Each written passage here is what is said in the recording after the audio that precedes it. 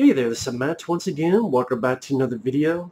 And I guess it's sort of a random video. I don't know if I'll do more of these, but uh, pretty much I'm looking through these boxes to see which movies are which one because I forgot.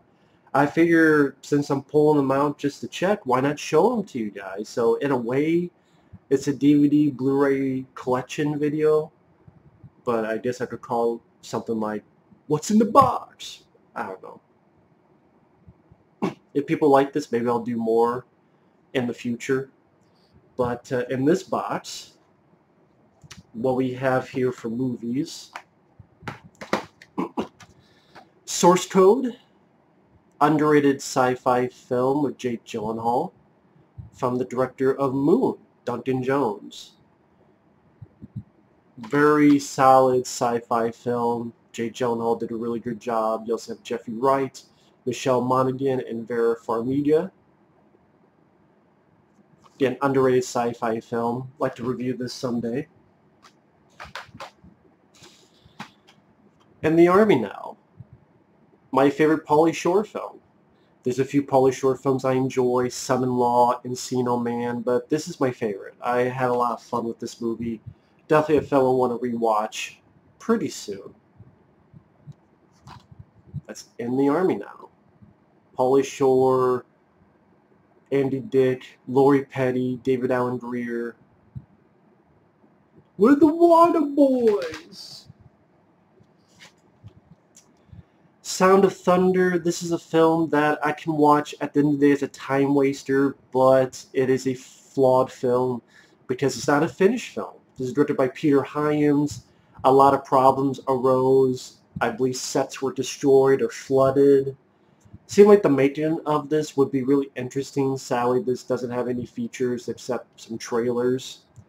But again, a documentary on this would be really intriguing. I know Ben Kingsley has some weird fucked up hair in this. The CGI is poor. I kind of give it a little bit of leniency because again, it wasn't finished. It's an unfinished movie. That's what it seemed like.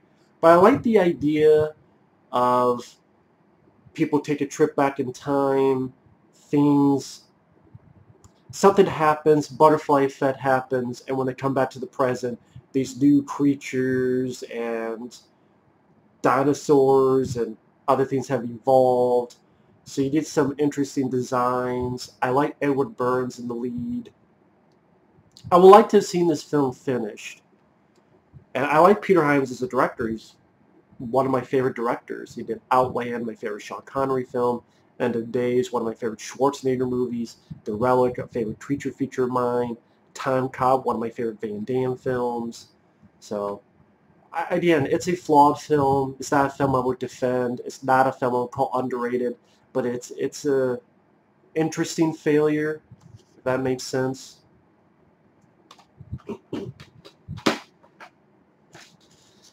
A film a lot of people hate, The Hulk from 2003. This is a film I've been sort of, there are movies throughout the years I've been up and down on. A Soldier with Kurt Russell, which I'm like, I'm not sure about, but ultimately I do like the film. This is one of those, when I saw it in the theater, I'm like, interesting. Then when I saw it on home video, I'm like, yeah, I don't know about this. But seeing this again, I rather enjoy it, watching it again. I wasn't always a fan of the film, but I appreciate what Ang Lee was trying to do. Uh, I think the the film has grown on me. I I like the editing style. A lot of people don't. I like Eric Bana. I like that the director was trying to go for a bit of a deeper message. I appreciate that, considering the films that come out today. And this Hulk is more badass than Mark Ruffalo's Hulk. I'm sorry. That's my opinion. This Hulk is beating the fuck out of tanks and helicopters and creatures this Hulk could kick Mark Ruffalo's Hulk's ass right in his fucking Poindexter glasses. And then you have the best Hulk film, The Incredible Hulk with Edward Norton. This film should have gotten sequels. This film's a bit underrated. Of the MCU films called one of the worst and one of the least successful. Bullshit, my dick. This film beats the fuck out of Avengers Endgame. It beats the fuck out of Avengers Infinity War. and I'm not taking that back. I'll watch this 10 times over those two pieces of shits. Yes, I said it, and I'm not taking it back. This is, Edward Norton did a really good job with this. This and the Eric Bana one I want to get on Blu-ray sometime, see it in HD. Isolation, I guess the best way to describe it is think of a standalone X-Files episode. This deals with takes place on a farm, people are trapped. I'm not going to give too much away for those who haven't seen it, but again, my best way to describe this is like a standalone X-Files episode, which is a good thing.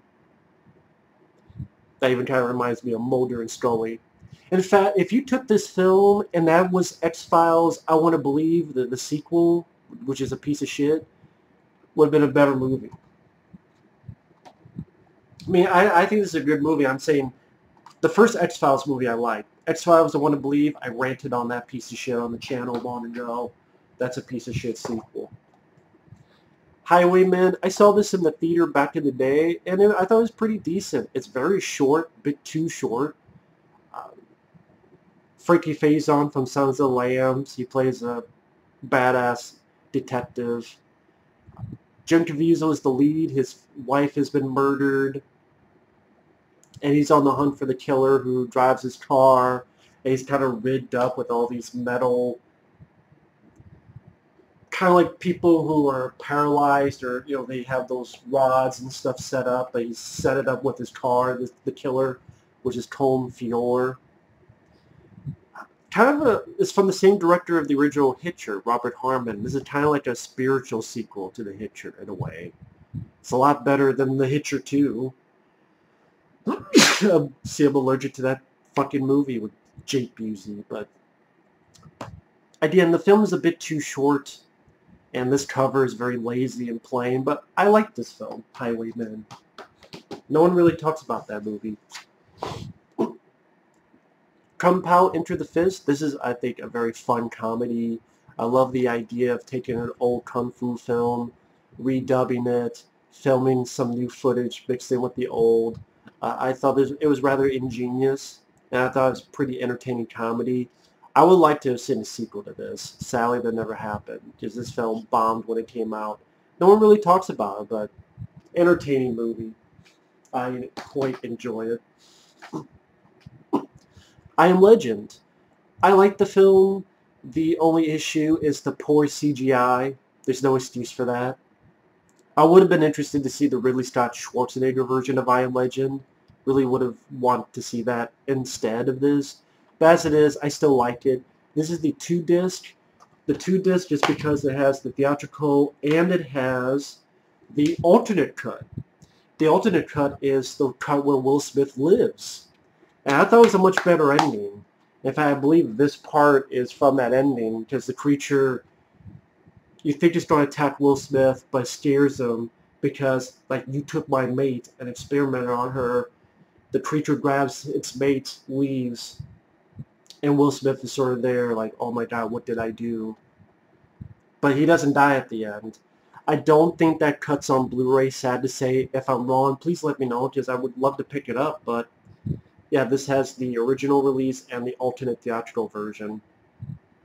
So, I, I believe the only way is this two disc. So yeah, there is a version where Will Smith lives, and that's the version I prefer. Plus, I thought it, it, it, brought a bit more interesting ideas to the ending of like who is the real villain. It'd give you at least a little bit food for thought, at least a tiny bit. Next up is Simone. Uh, this film got panned when it came out. Um, I mean, there were a couple of critics who liked it, including Larry King and Gene Shalit, but I thought this film was pretty decent. I like the idea, and I like Al Pacino. The idea is, what if this, uh, I forget if he's a producer or director. I think produce. I forget. But he creates an actress in the computer, and everyone thinks it's real. Everyone thinks this person is real and has her acting in movies, but it's all a computer program. And he makes up ideas as to why she can't go out in the public. She's a very private person, all these other lies. So I, did, I could kind of see that happening with the way technology keeps going nowadays. I really can see this happening. So who knows? Maybe this would be a film that um, maybe a bit a little ahead of its time. But Simone, I don't think this is that bad of a film at all. I thought Al Pacino did a really good job. You also have Jay Mohr. I always keep thinking this is Natasha, this is not Natasha Henstridge or Charlize Theron. I always keep thinking it's one of them, but it's not. Yeah, I think it's a little bit of an underrated film. the Invasion. This this is a film I picked up for cheap because I wanted to give another shot. Picked up a long, long time ago. And in retrospect, it's not the worst film ever. It's just kind of pointless because this is the fourth Body Snatchers film to the point they don't even have Body Snatchers in the title anymore. And my favorite Body Snatchers film is the, the 90s one with Abel Ferrara, which I have on Blu-ray around here somewhere. But, I mean, watching again, it's not the worst film ever. I mean, at best, it's a time waster. Because I watch it again recently, and it's, again, it's, you got Nicole Kidman, Daniel Craig, Jeffrey Wright. Cast didn't do that bad of a job. It's just kind of like, what was the point of it being made? Kind of one of those things. And apparently it's got messed with in post-production. I don't know all the details, but again, it's just kind of like, why? Like, what? Why did we need a fourth body snatcher So That's sort of the thought process on that. Next up is Scary Movie, which I enjoy. I thought the Wayans brothers did a really nice job with this film. I think what makes the, this and the sequel, which I have over here, to me, these are the only good scary movie films. The rest sucked ass. And the Wayans brothers had no hand in them, so that's why. The Wayans brothers wanted to do a Scary Movie 3, but they got fucked over, and there are interviews on YouTube. You can find them Marlon Wayans with how that whole thing happened. But these are the only good ones. And in fact, I would say the sequel is my favorite. But uh, I still like this one. I think because one thing I noticed they stick to one story.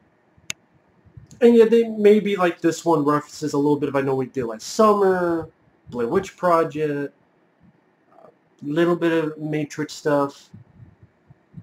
But films later, like disaster movie, superhero movie, they literally take like 15 movies and try to put them together. But these films try to be like one film. If, if you, I don't, maybe I'm not making sense, but they actually kind of try to tell a story, even in a parody form, just like Airplane did, just like the Hot Shots movies did. They, they, they mainly stick to one movie they're parodying, like Airplane was Airport. Part Deux was Rambo, kind of Rambo 2, Rambo 3. National Lampoon's Loaded Weapon 1 mainly Lethal Weapon. And that's, that's I would say Loaded Weapon 1 and Hot Shots Part 2 are my two favorite parody films, but uh, these are a lot of fun. Yeah. It's too bad the Wayans Bros got fucked over. Scary Movie 3, 4, and 5 sucked, and Scary Movie 5 is one of the worst parody films. The worst parody is probably movie 43, which I ranted on on the channel. Skeleton Man, uh, the only reason I have this is because Michael Rooker from Cliffhanger and Henry Porter, a Serial Killer is the lead. And he's the hero of the film.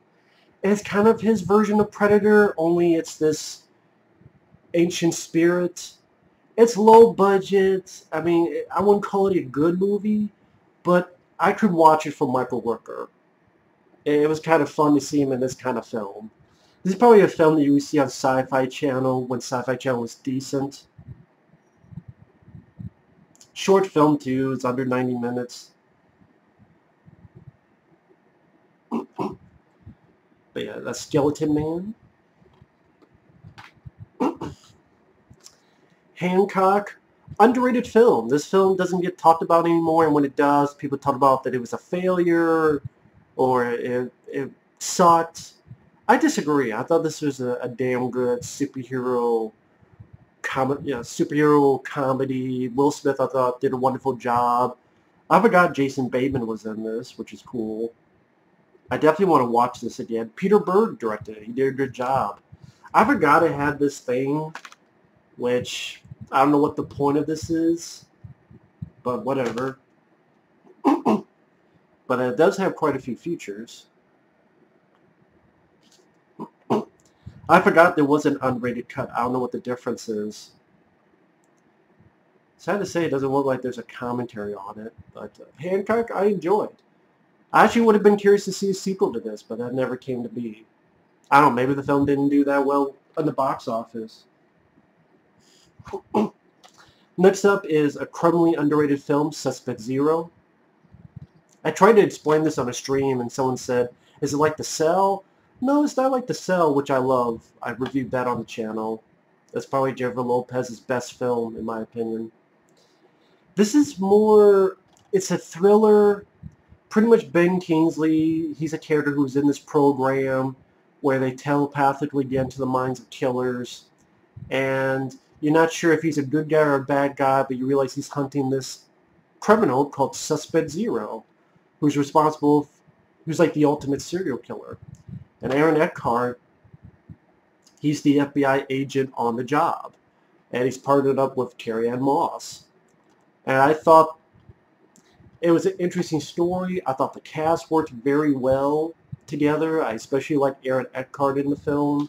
Sadly, this film does not have a Blu-ray because of this piece of shit company, Pair of Pricks, Paramount, are the worst company ever when it comes to Blu-rays. I like the idea of remote viewing. I don't remember that being used in too many movies, at least at the top of my head. And again, Aaron Eckhart, I thought did a good job. Carrie-Anne Moss, nice to see her in a film other than the Matrix movies. But Suspect Zero, underrated film. Sphere, interesting film. I do like it, but it's not everyone's cup of tea. I can see a lot of people finding this film to be boring, and I can't blame them. It's a bit overlong. It's over two hours. The marketing lied. This the marketing made it seem like it's a horror film, that it's a creature feature film, and it's not in the slightest. This film is more akin to I don't want to say 2001, but it it's more a thriller, sci-fi, drama more psychological because they find this fear and they realize it's their fears being formed into a, a physical manifestation.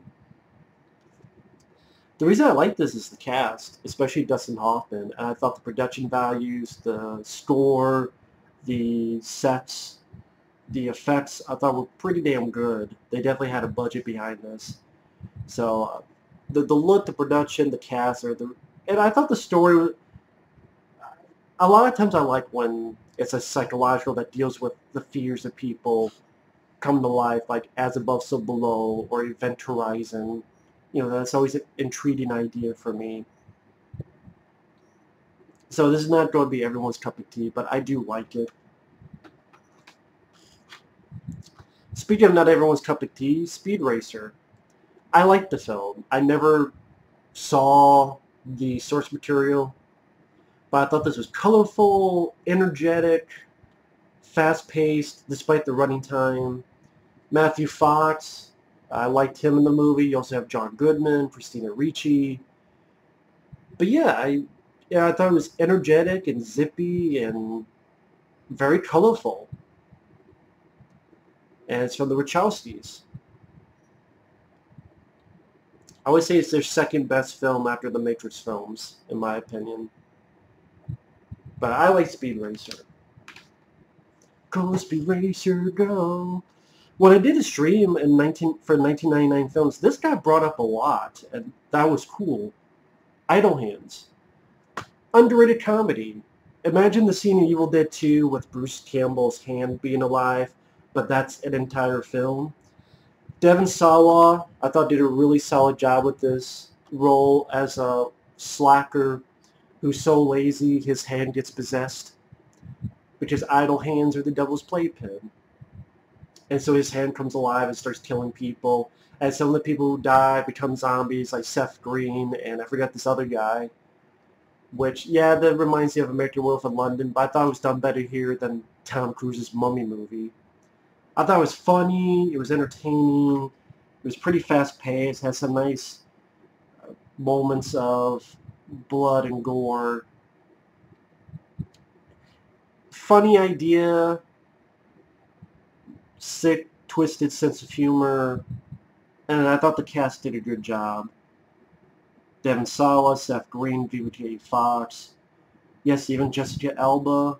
I thought she did fine in the role she had. So, Idle Hands, an underrated film. Definitely want to review that sometime. Next up is The Hurt Locker. Great war film directed by Kathryn Bigelow, uh, Jeremy Renner, and Anthony Mackie. Funny enough, two people who would be in the Avengers movies. They're the stars of the film. You also have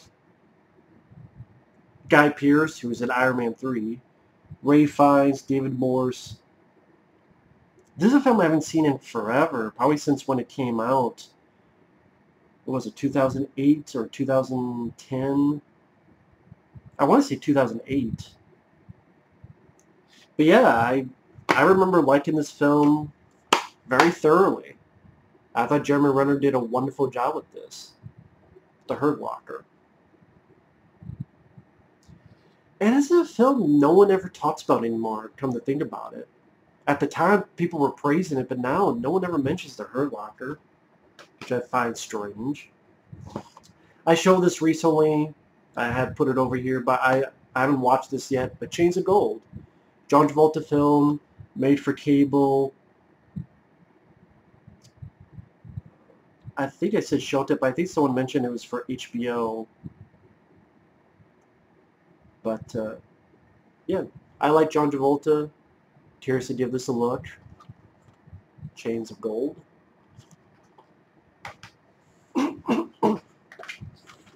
a film I rewatch and still enjoy, Knight and Day.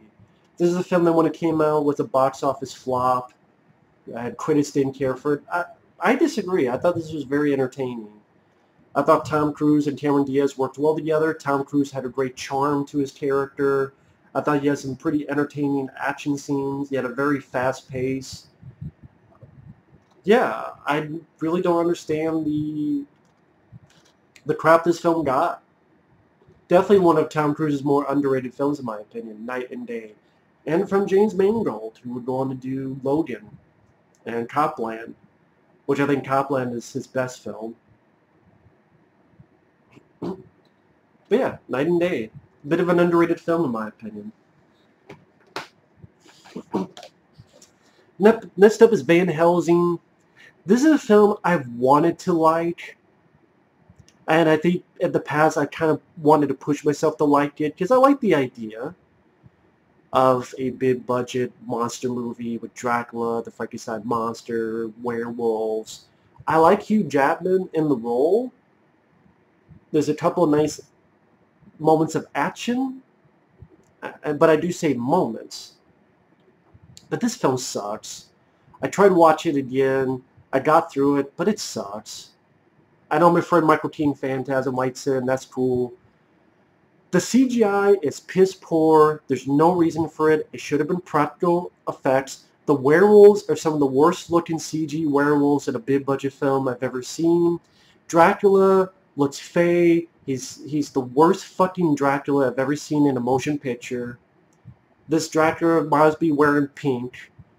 The Frankenstein monster, I swear he's trying to do a Peter Boyle from Young Frankenstein impression, which works for that movie because it's a comedy. Here you're supposed to be taking the seriously, but this Frankenstein, the Frankenstein monster does seem like he's doing trying to be Peter Boyle from Young Frankenstein. The, the the finale is really boring. I don't care about half the shit that went on in the finale. CGI, crappy-looking werewolf Van Helsing versus crappy-looking Dracula. This this fade Dracula, what the fuck? I mean, I thought the Dracula Blade, Blade Trinity was bad, but this is the worst Dracula in a movie, especially a big budget film. And the action scenes are hampered by bad CGI. It's too long. It's well over two hours. Two hours and 12 minutes. The score is pretty decent by Alan Silvestri. Hugh Jackman does a good job, but even the beginning where he fights Dr. Mr. Hyde, the League of Extraordinary Gentlemen came out at the same time, and that Hyde looked better than the Hyde in this movie. So I could see why this film didn't do well, and it's Hugh Jackman. I liked his character. I liked his weapon, like this automatic bow. Deserved a better movie. I think it should have been a better director. Stephen Sommers did great with Deep Rising and The First Mummy. That's pretty much it with Stephen Sommers. It should have been like, I don't know, Renny Harlin or maybe John McTiernan take a chance on it. Or, I hate to say it, I know Michael Bay was approached for this. At that time, I would have rather seen him do it than Stephen Sommers. hate to say it,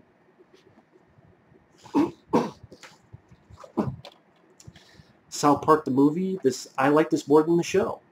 I'm not a big musical guy. I'm not a big South Park guy. Again, I don't care for the show, but I thought the movie had some catchy songs, some laugh out loud moments, and was very entertaining. Maybe, in my opinion, I guess they should have just stuck with movies instead of the show. I know people disagree with that. this is the animated 90s Spider-Man cartoon a very nice person sent this to me. I don't even know if that person watches my stuff anymore. But uh, sad to say, when I first got this, the disc, the first disc didn't work. I had to tell him about it. Hopefully he didn't take it the wrong way. Like I was unappreciative. I really was. I just wanted to let him know that the first disc didn't work. Because if he bought this or he got this from someone, it's like, hey, that, that person gave you a bad bit of goods. But I, I did get another copy thanks to him, so I do appreciate that. Hopefully, again, hopefully didn't take it the wrong way. But I really enjoyed this set. I don't know why this cartoon is not officially released. I mean, Batman the Animated Series got a release. Why not Spider-Man? This is a 90s cartoon that many people love and enjoy. And you could say this is the best Spider-Man release thing in the past 20 years, if you think about it. This is better than the movies. And I love the artwork on this. It's really cool artwork. So, this is a really wonderful gift. Next up, we have the Hills Have Eyes remake. I do have this on Blu-ray somewhere, but this is one of my favorite remakes. When I used to have, before I started shaving my hair off, I had a bit longer hair. I kind of looked like this guy, character Doug, to the point my friends would keep start calling me Doug. but uh, I love this movie. I think it's much better than the original, mainly for the third act, where it becomes a Sergio Leone hardcore action horror western revenge movie. And even the music sounded like Sergio Leone, Ennio Morricone type of music. I love the gore. I love the director by Alexandre Aja. I did look forward to his new film Crawl. I thought that looked pretty cool. So I thought this remake did a great job. I do have the sequel somewhere. I don't know where though. Might be in one of the other boxes. this is the original. I have it because for the Wes Craven collection. And this also has disc 2, the directors, the films of Wes Craven which is about an hour long. I forgot what company, I mean what channel released it. I believe it was on TV first, the directors. And then they released some DVDs. But it's a bonus feature on the bonus disc, which is nice. And you have interviews with Courteney Cox, David Arquette, Adrienne Barbeau, Neve Campbell, Bill Pullman, Meryl Streep, Robert Englund. So that was really nice sad to say I'm not a fan of the movie. I love Wes Craven. May rest in peace. Shocker is my favorite of his. I love The Serpent and the Rainbow. I love The People Under the Stairs. I've reviewed those on the channel. I never reviewed this because I'm not a fan of this movie. I actually prefer the remake over this. Uh, this film I found boring, and the only noteworthy thing was this guy here, Michael Berryman. But in my opinion, the remake is better, but that's just my opinion. then we have Short Circuit. This is the Blu-ray that has the old features on it. Love Short Circuit ever since I was a kid.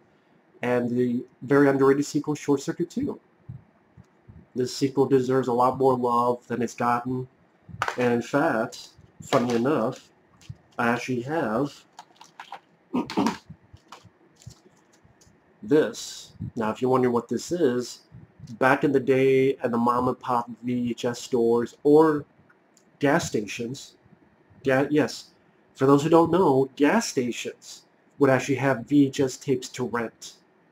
And this would be on the wall with a little hanger. If you wanted the movie, you look at it, you take it off, you can read the back, you slap it down, hey, I want to rent this movie. They get this number to find it, and then they give you the VHS tape to rent.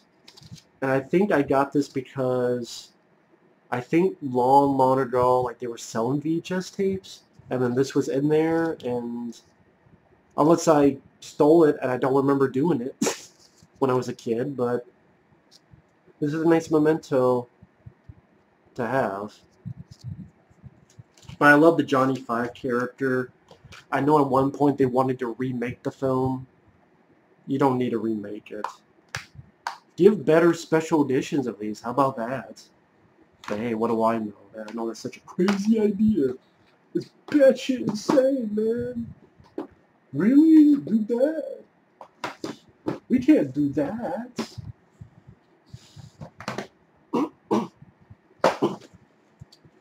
Kuffs, underrated film. I know this got a Blu-ray recently. I do want to pick up sometime. I don't think it has much features. Sad to say, Christian Slater's not interviewed, which sucks.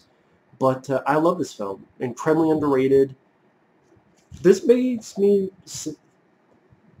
realize that if you did Deadpool in the 90s, he'd be the perfect Deadpool. Because this character, not action-wise, but behavior, he does remind me of Deadpool. The way he breaks the fourth wall, tosses the camera, uh, the way he handles situations is even the movie itself does break the fourth wall from time to time. Like there's a moment where he's talking with this guy who is Tony Goldwyn from Ghost. And Tony Goldwyn keeps talking and cursing. Every time he curses, it, it bleeps out until the end where he finally is like, fuck you. there's a lot of very uh, laugh out loud funny moments in this movie. And I know Milla Jovovich is on the cover, but she's in the film for like five minutes. So that's weird. And yeah, the Harold Faltermeyer did the score. Very underrated movie, Kuffs. Definitely recommend that film if you've never seen it. If you like action and comedy. this is a film I haven't seen in a while. So I want to rewatch this again before I form an opinion. I think I got gotten this DVD because I heard so many good things about it. But Kung Fu Hustle? Soldier, like I said, this is a film I was off and on throughout the years, but ultimately watching it months ago, really enjoyed the film. I like the basic, straightforward story. You know, this guy who was raised to be a killing machine, a soldier, left behind like garbage. With the few words he has, Russell did a really good job acting-wise. And granted, I would like to see a bit more action, but I'm an action junkie. What's there? There's some pretty good crowd-pleasing moments in Soldier. Like, this is a film, despite the CG, that does feel like an 80s throwback. Unlike some of these films that tout it. At least that's, you know. this is how I feel. Signs, I would say this is the last decent M. Night Shyamalan movie. it's flawed. The ending where why the fuck would the aliens land on a place where there's so much water and it's like acid. I know, I don't get it either. But I like the musical score. I like Mel Gibson's performance. I like some of the build-up and suspense of the film. I thought the kids, especially the little girl, they were charming and not annoying at all. And overall, I like the idea of using the crop, the, uh, why am I blank on that? Crop signals, the crop, crop circles.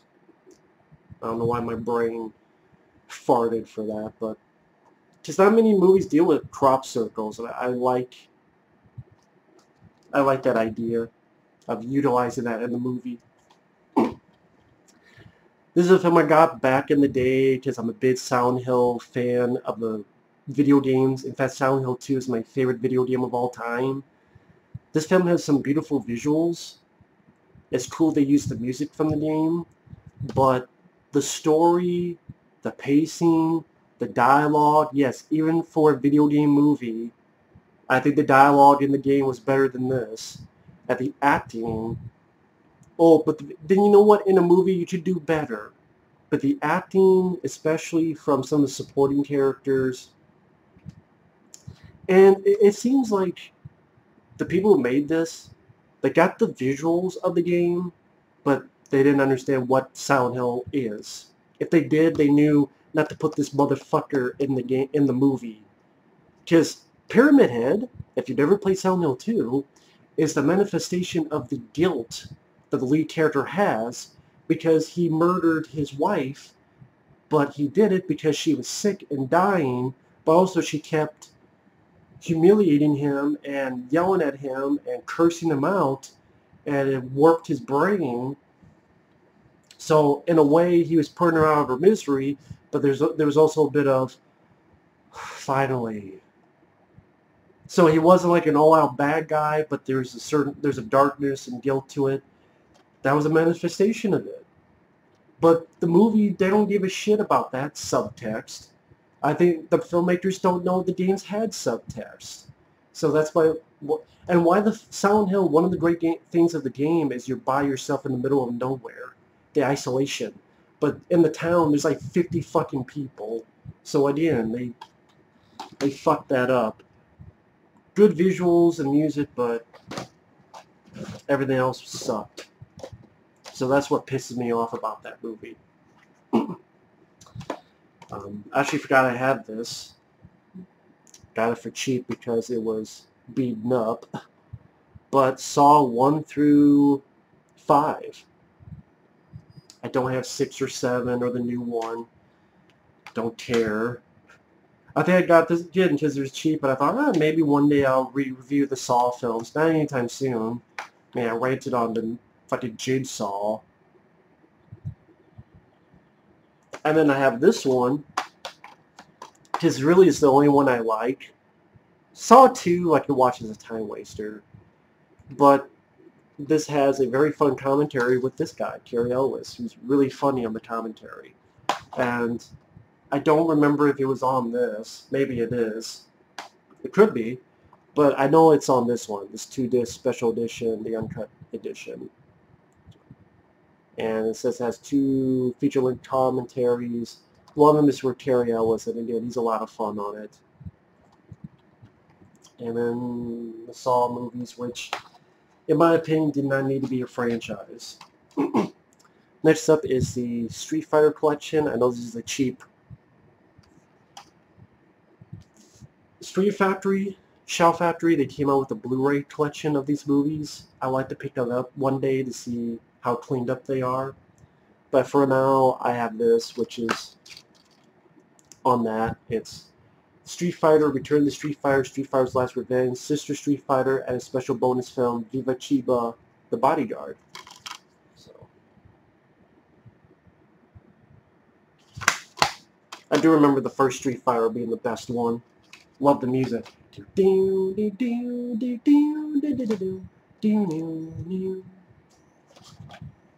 Kull the Conqueror, this is a film that I like Kevin Sorbo, but it always made me go, Why the fuck didn't you just do a Hercules movie? Why did you do a wannabe PG-13 Conan film? I think it was supposed to be Conan or Conan's dad or something like that, but then they couldn't get the rights. But uh, again, this made me go, either make it R-rated and go all the way, or just make it a fucking Hercules movie. So, I do like Kevin Sorbo, but the movie, eh. Knowing well-directed film. Nick Cage did a good job. Definitely a surprising ending. if you've seen the movie, you know what I mean by surprising ending. Kind of ballsy. Directed by Alex Proyas, who did The Crow and I, Robot. Definitely an interesting sci-fi film. I'll say that. I don't think it's a badly made film. Krull. I believe I have this film on Blu-ray I believe so. I don't I don't remember anymore. But I do like this film. I wish the glaive was used a lot more. It's barely used and it's such a cool weapon. But I love the score by James Horner. I like the fantasy elements. I think I saw this film more when I was a kid than Star Wars, to be honest. But I love the Slayers these creatures, the sound effects they made when they die, the beast, and I love his fortress. I thought there was some really imaginative designs. I like that the fortress, like every midnight or something, it disappeared and went to another place. But uh, I do like Krull quite a bit.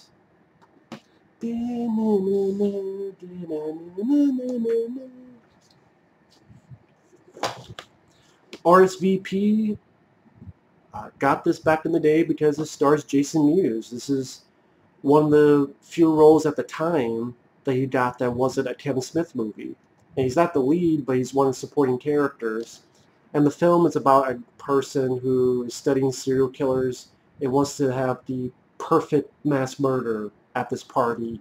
So he's trying to be a little bit like that Alfred Hitchcock film Rope. Not so much being shot in one take, but the the story. And also has Glenn Quinn, who was on the TV show Roseanne, who sadly passed away. But I remember not minding the film. Idea it was cool to see Jason Mewes in a film that wasn't a Kevin Smith movie. I know I did not pay seven ninety five for it. Rubber. I think someone was actually asking me about this on a stream. And I knew I had the film. I enjoy it. It's unique, it's original, it's bizarre, it's batshit, and I love the originality of a killer tire. And it's so quirky and out there and strange that uh, I appreciate it. I do appreciate it. I thought it was quite a bit of fun.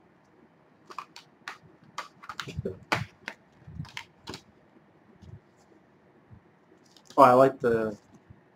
Yeah, she has a little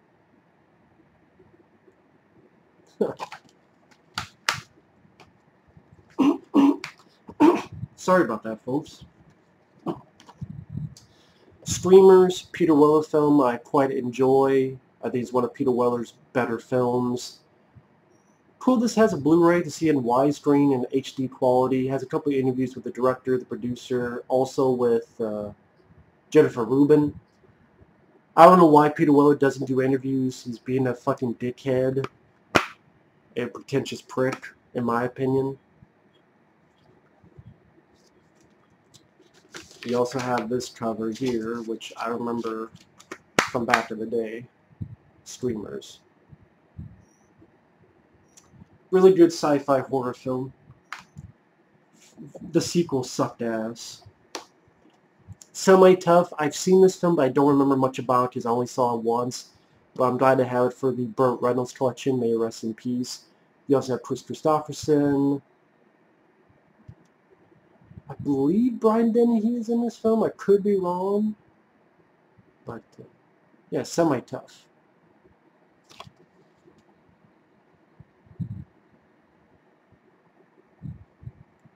Cool to see Burt and Kris Kristofferson in the same movie.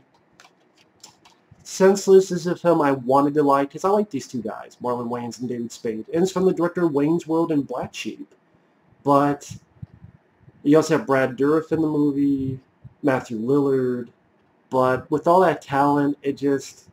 This is a pretty forgettable, unfunny movie in my opinion. Pretty much this guy, he needs money. He goes, takes this experiment from the doctor, played by Brad Dourif and supposed to heighten his senses, but then he takes too much, so one of his senses is gone from time to time while the others are working, so at times he can't see, at times he can't hear. Could be a good idea, but I don't know, the, the script just wasn't that funny. I mean, it's not like the worst thing ever.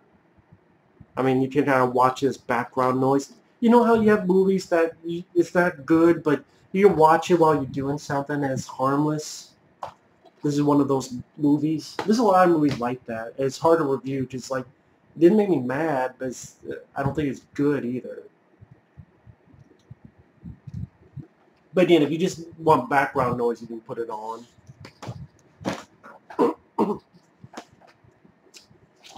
Ronin, uh, solid John Frankenheimer movie. Not my favorite Frankenheimer film, that'd be Dead Bang, but some really solid action set pieces. Robert De Niro does a great job in this film, as does Jean Reno. Ronin, good flip. The Item, strange movie, false advertising by the cover. The cover makes it seem like a creature feature horror film, like the creature's going to escape and kill people. Not the case. The, the creature is more this worm, like this cute puppet-looking worm that has no eyes. And it manipulates people and kind of looks into their minds, their fears, their desires. There's this one scene where the worm puppet fucks an Asian lady consensually, like she wants it. The tail of the worm. Yes, there's a uh, worm puppet sex scene where it has sex with an Asian lady and she likes it. And that's like the near the end of the film. That's pretty much the ending of the film. Yeah, it's it's I don't know how to describe it other than that. Shit.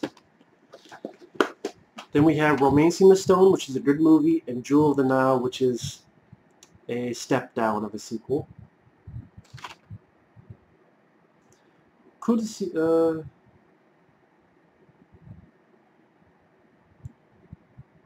I thought the first film had features, but I guess the sequel has features. Okay, the sequel says special edition, but this first one is a bare bones. Well, that's lame. Why the fuck did they do that? I think I know the film's on Blu-ray. I do have this film on Blu-ray. I've reviewed this film on the channel. Love this movie. It's a classic. What more can be said? Scorpion King have this for the Dwayne Johnson collection. Wanted to give this another look because I like Chuck Russell, the director. He did The Blob from 1988. He did Eraser, Nightmare on Street Part 3, all films I love. But this film I think it's one of the director's weakest movies and one of The Rock's weakest movies. And plus, you know what happens to Scorpion King. He loses, he sells his soul, and so you know what happens to him, so the fuck does it matter? You know what I mean? Hideaway, this is from the director of Virtuosity and Lawnmower Man. I love Virtuosity. I reviewed that on the channel. I like Lawnmower Man. I reviewed that on the channel. Uh, both better than this, but this is definitely better than Brett Leonard's Highlander The Source, which that's horrible. I ranted on that when I did my reviews of the Highlander movies. This one's in the middle. Not bad, not good. It's there. Jeff Goldblum does a good job. Some special effects that don't hold up the best. Kind of interesting ideas. It's from a novel by Dean Koontz although I prefer Dean Koontz's Watchers, the movie, over this, but uh, I can watch this. I can watch as a time waster. And yes, that is Alicia Silverstone.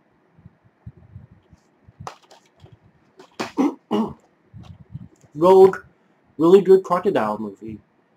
Um, yeah, if you like crocodile movies, this is definitely worth a look. You have Radha Mitchell, Sam Worthington, Underrated film. Not many people talk about it, but yes, it's from the director Wolf Creek, and I think this is much better than Wolf Creek. I got this because my mom gave it to me. My mom knows I like action movies, so she thought I would like this. I don't, though. I rented on this long ago. I still don't like this film. It's a shitty remake of Pitch Black, really. I know it's a sequel, but all they did was try to remake Pitch Black, and they do to do a bad job of it. Plus, I swear, Riddick disappears for like 40 minutes of the film. There's a part of the film he disappears, you see him like blinking, you miss it for like 40 fucking minutes. Instead of these boring ass mercenaries I don't give a shit about. I thought that was a really stupid idea. So, I didn't throw it away because it's a gift from my mom. Ricochet, good flick by the guy who did Highlander, Russell Mulcahy. Denzel Washington, John Lithgow, Ice-T. I remember the song at the end. I think Ice-T did it. Suicide, it's a suicide, suicide suicide. It's a suicide, but good flick. Ricochet.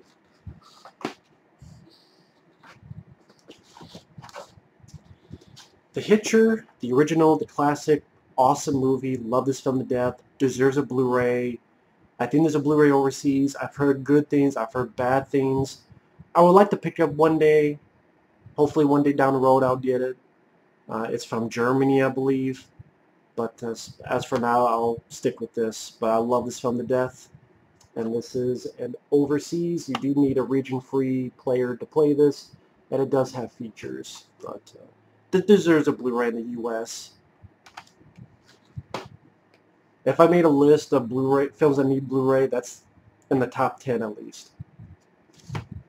I reviewed this on the channel. Someone sent this to me long ago. Good flick, Gary Busey's Hider in the House where he's living in a section the house that his family moves into.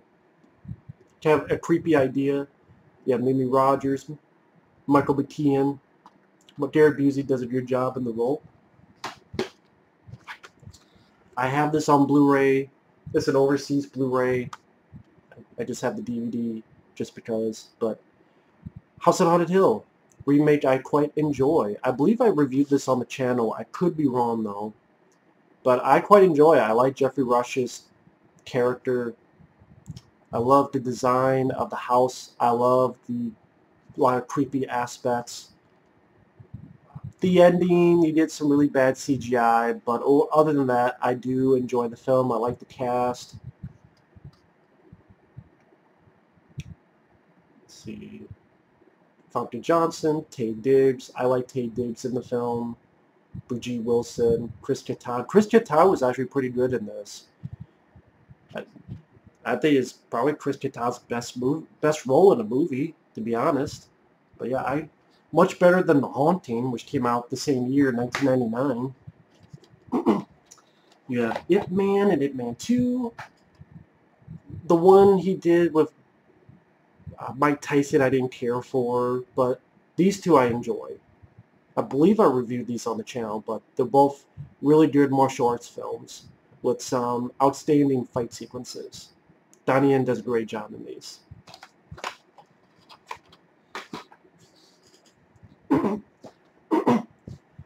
uh, I enjoy this show. It debuted on MTV Wildboyz with Steve-O and Chris Pontius from Jackass. It's pretty much them going around the, the world different animals, different crazy situations they get themselves into, crazy dares. Uh, but yeah, Wildboyz Season 1. Season 2.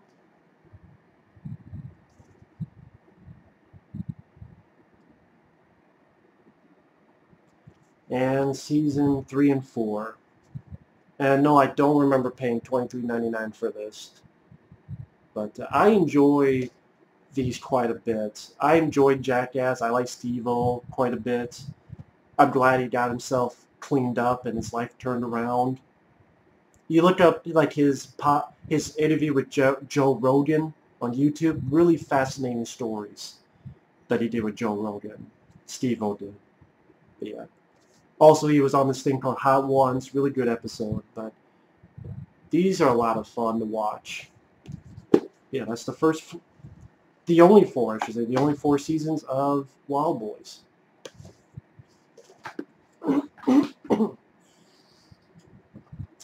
this is an interesting documentary on sci-fi movies, To the Galaxy and Beyond, hosted by Mark Hamill. Mark Hamill narrates, pretty much just looking through sci-fi from the beginning all the way up to Independence Day, I believe. Independence Day was the newest one. But they talk about sci-fi films back in the day, the day, the day they were stood still, Star Wars, Alien, Aliens. I mean, it's not the most in-depth. It's only 97 minutes long. But it was cool to see. Plus, I had a trailer gallery.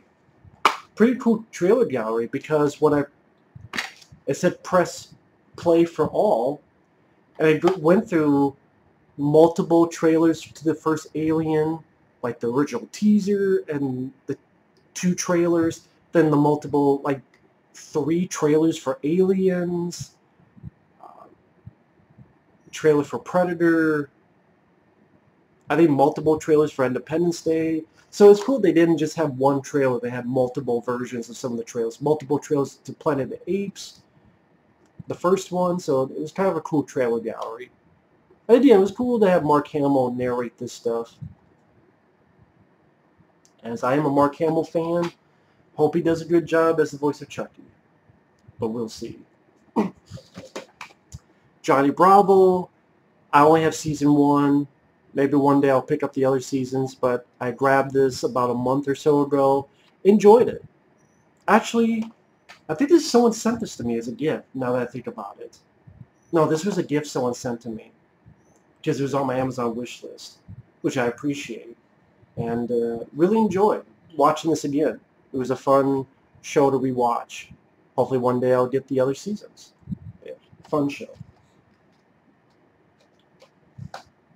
I do have the first one on Blu-ray. It's over there. But you have Jaws 2, enjoyable sequel, Jaws 3, which I do like, and Jaws 4, which is a piece of shit. Wrongfully Accused, not good, but I I don't hate it. There's some fun moments, like when the train actually is alive and is sneaking around corners of the forest looking for Leslie Nielsen. There's moments like that that made me chuckle. Uh, mainly it's a parody of The Fugitive with a few other aspects, like Mission Impossible, among others. I mean, it's not a good movie, but I could I could watch it for Leslie Nielsen. I mean, not as good as Airplane or the Naked Gun films, but there's a few Leslie Nielsen films that I need to get. Like I don't have Spy Hard what else? I think you have the Naked Gun film somewhere around here. I know I have Airplane. Dracula Dead in It, I believe I do have. Might be over there, but this is, uh, it's there. You know, I, I got some chuckles out of it, so better than Disaster Movie or Epic Movie or Movie 43. Hulk versus, which is versus Thor and Wolverine. Wolverine is definitely the better one. Yeah, you have an appearance by Deadpool on that. So, the Thor one is alright, but the, the Wolverine one is definitely the better of the two. Wish they did more of this stuff. I don't know why Marvel Animation doesn't do more stuff like this.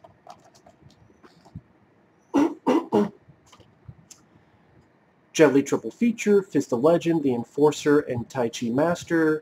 All three have commentaries with Bey Logan, which is cool. Of those three, Fist of Legend is the best one, but my favorite Jet Li film is Kiss of the Dragon, which I reviewed on the channel when I did my uh, mini marathon of Jet Li films where I reviewed a lot of his American movies. And Kiss of the Dragon is my favorite all-time Jet Li film. I love Kiss of the Dragon. I have a review of that on the channel if you're interested. Scanner Cop, my favorite Scanner film. Uh, I think it's the best one. Sally, I don't think this has a Blu-ray release. I like the lead guy, and it was cool to see a Scanner Cop. I mean, it was a cool idea. Some really fun special effects. And head explosions.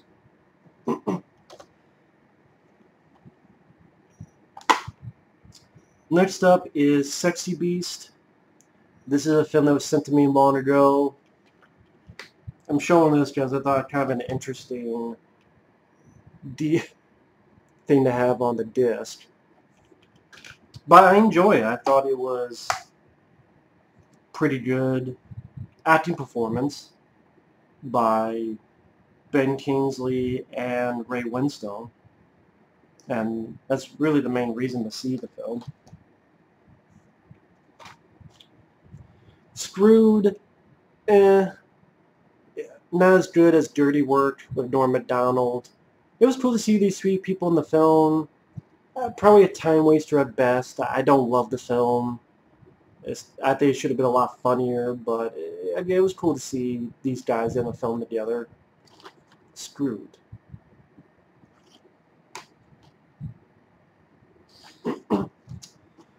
Yeah, Reanimator, which is a good film. I have the sequels over there. This is definitely the best of the Reanimator movies. This is the Anchor Bay Special Edition. Repo Man, once again, solid flick really quirky and weird and strange and dare I say original Repo Man.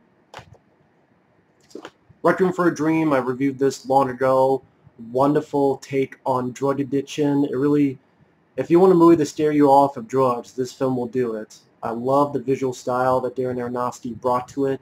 Wonderful directing job in this film. And the cast, including Marlon Wayans, did great in the dramatic uh, department. Ellen Burstyn especially did a solid job with this. Revenge, have this for the Tony Scott collection. Like it, did not. I don't even know where the revenge comes into place. There is no revenge. I mean, she dies at the end, and him and Anthony Quinn kind of say, okay, goodbye, and they leave each other, and I thought this was a boring lame film. I know Tarantino loves the film. I don't agree with him on that. Tarantino also loved The Lone Ranger, so just because he loves something doesn't mean it's automatically whatever. It's like everyone else. They have different opinions and taste. Tarantino loved The Lone Ranger? Yeah. Look up the year it came out and top in like top 10 Tarantino, whatever year Lone Ranger came out. It was on the list. Resurrection, uh, inspired by the movie Seven, one of Russell Mulcahy's best films, and one of Christopher Lambert's best films. Dark, creepy, crazy idea of a killer killing people, stealing their body parts because he wants to recreate the body of Jesus Christ. So, yeah, very dark idea. Um, I had the first one around here. Where did it go? Hmm. I do have the first one of this around here somewhere. I'm sure it'll pop up, but this is the third one. Sometimes they come back for more. Yes, sometimes they come back, got three movies, and this is the third one. And I liked it for what it is. A little bit inspired by the Thing, a little bit, but with some demons instead of aliens. I like Clayton Rohner. He's the lead actor in the film. He was in the original April Fool's Day, this TV show called Good versus Evil. And oh, for a direct-to-video film, I've seen much worse. I liked it overall. I thought it was okay. Again, I have the first two somewhere. I don't know where, though. I know they're here somewhere kind of want to find it because I want to keep them together. Where the fuck did go? Some bitch. Oh well. I'll find it sooner or later. Hellcab, very deceiving cover. This makes it look like it'd be Christine with a taxi cab or about a serial killer that drives taxis. Not in the least. It's just the day in the life of a taxi driver. And he's not even a bad guy or crazy. It's just a guy dealing with these crazy, weird passengers throughout one day. I don't know why it's called Hell Cab. I don't know why it has this cover. Well, I know why it does. It made me want to see it, but it was a fucking lie. This is not a horror film at all. There's nothing creepy. Do you dare pay the fare? Why? There's nothing going on. There's no horror. It's it's not. It's just a day in the life of a cab driver. It's a drama. It's one of the worst pieces of false advertising I've seen on a DVD. Kelly's Heroes, I do like this film, but it's way over long, way too long. But I thought the cast worked well together. Donald Sutherland was a hoot. Very fun character. But this is a Clint Eastwood film I do enjoy. Kelly's Heroes. High School High, a parody I had fun with.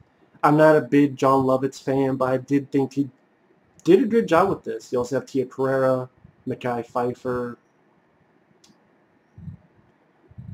I didn't realize, holy shit, Hart Bochner directed this. Ellis from Die Hard.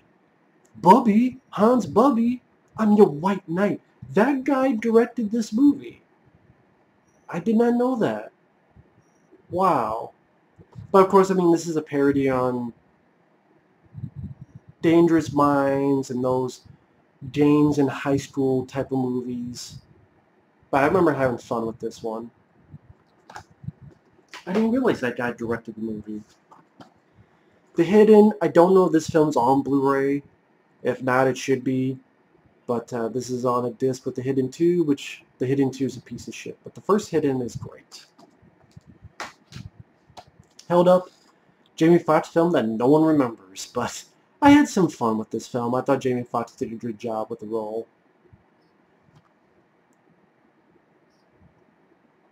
Pretty much, he's with his woman.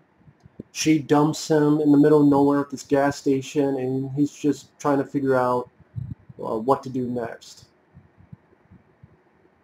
His car is jacked by a teenager. He's taken hostage in a stick-up. Just one thing after the other after the other happening.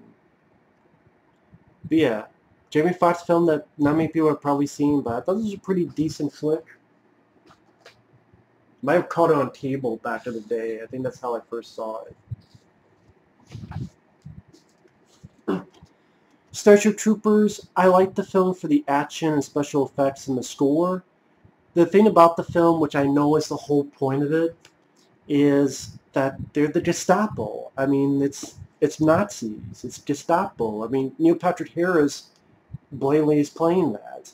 And I, yeah, I know that's the point because it's about how these people are brainwashed to be killers and they follow the propaganda. I know that's the point of the film, but I, I guess in, it's sad to say, I kind of wish this was dumbed down as just a straightforward action good guys fighting killer bugs but I, yeah, I, I know that's the point of the film, but that's the problem I have with the film.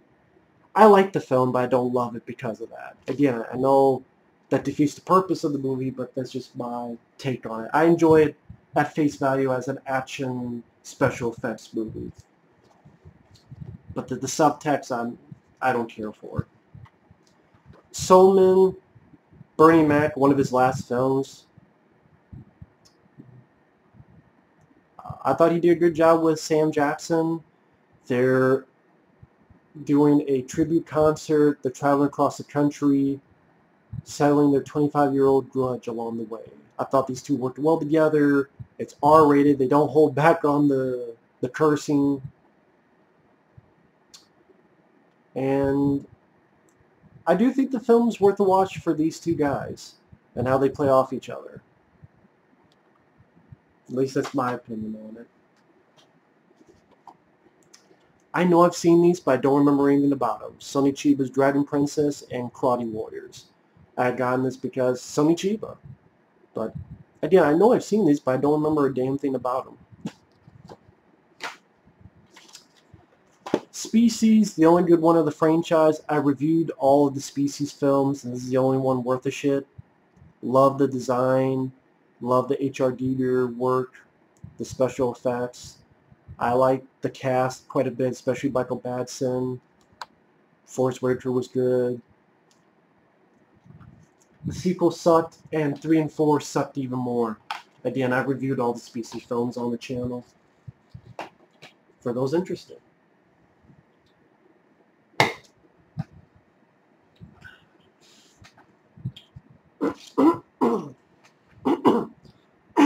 Sorry about that. Star Chamber.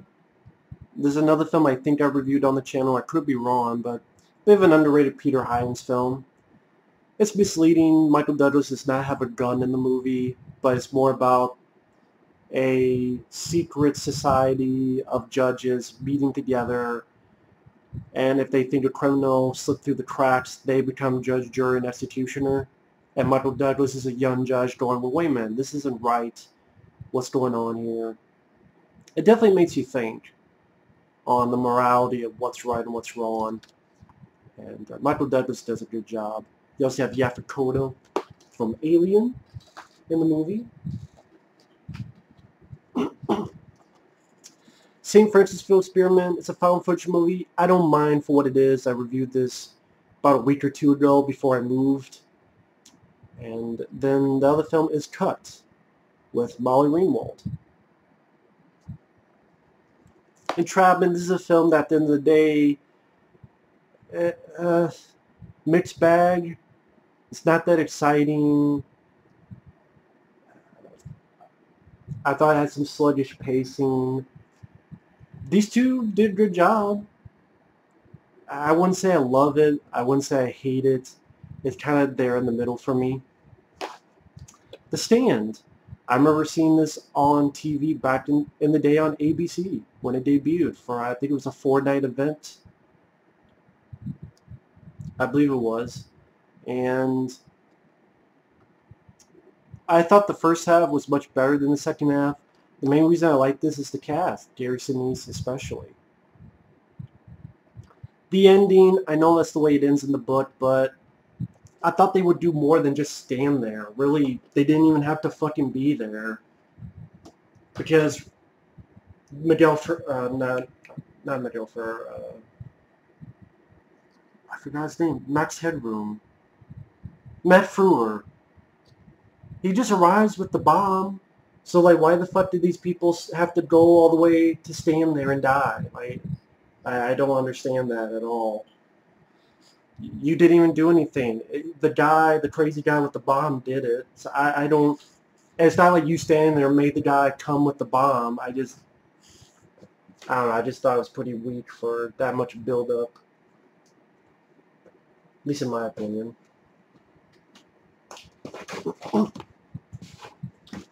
Next up, a show I, character I grew up with, Scooby-Doo.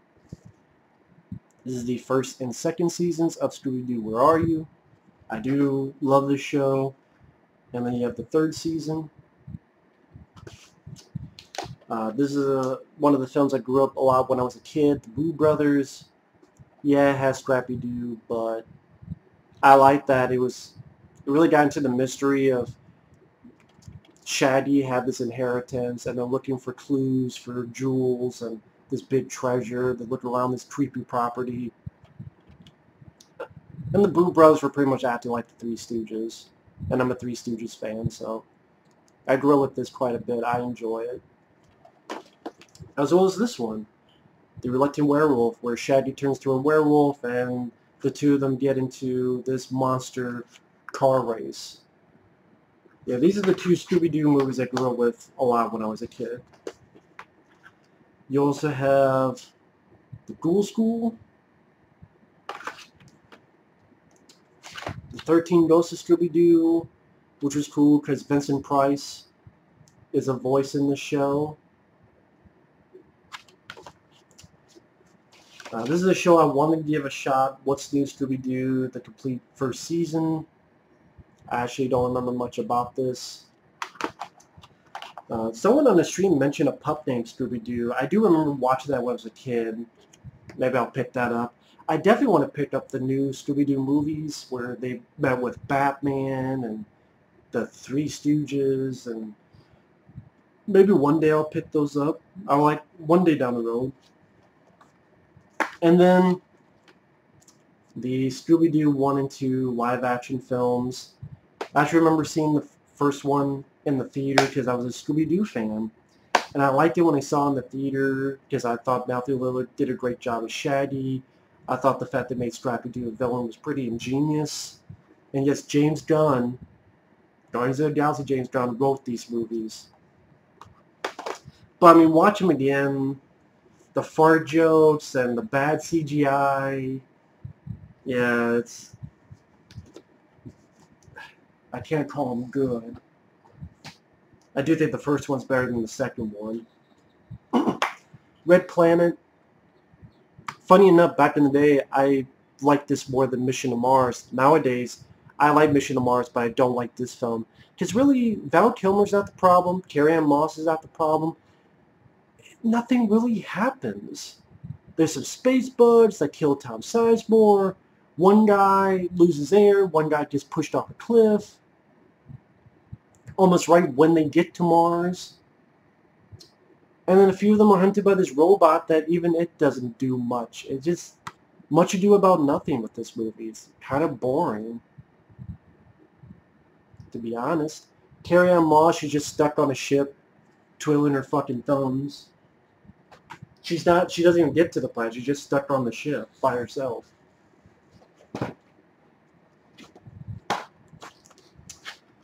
The Watch, I I think someone gave me this DVD to review. I could be wrong. Or I picked this up because I liked the cast. You know, I like Ben Stiller and I like Jonah Hill. But this film was really disappointing. It should have been a lot funnier. And it wasn't. It just wasn't that funny.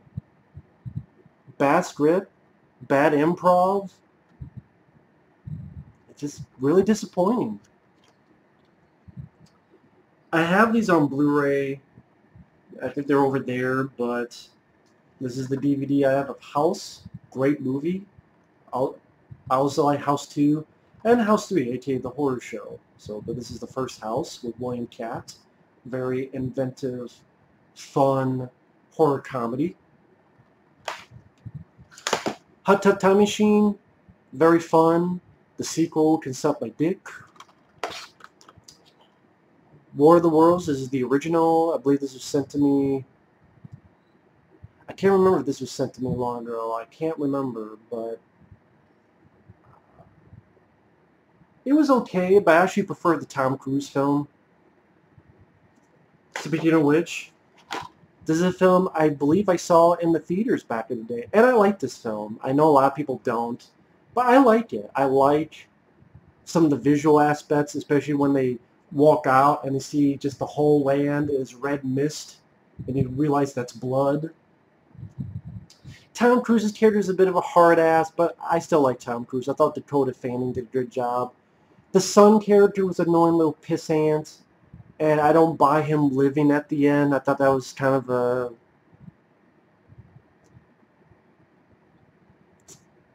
They just should not have had that character in the movie, to be honest yeah, I thought the special effects were really good and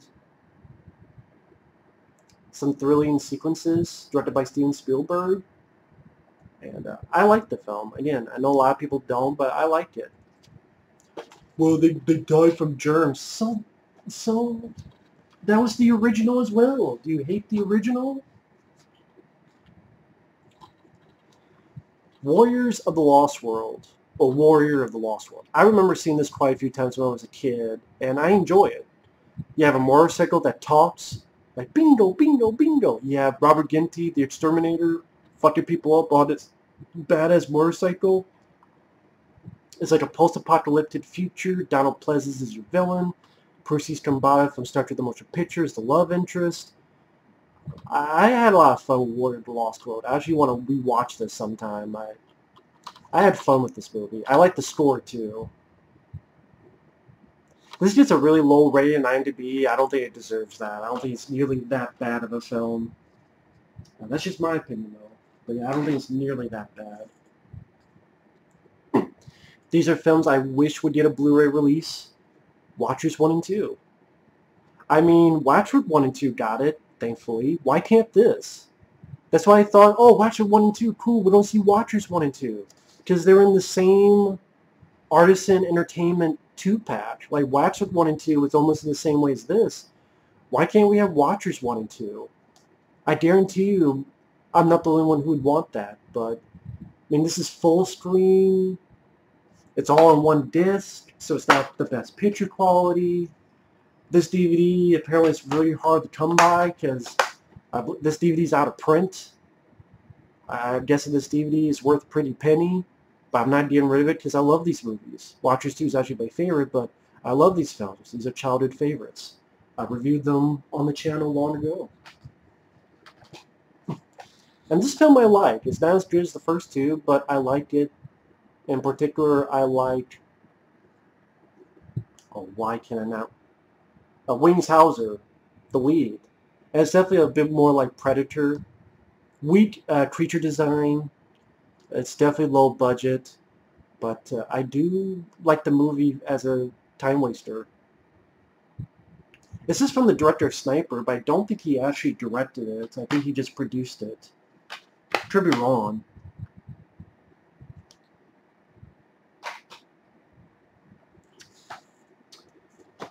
Oh, speaking of which, House 2, the second story.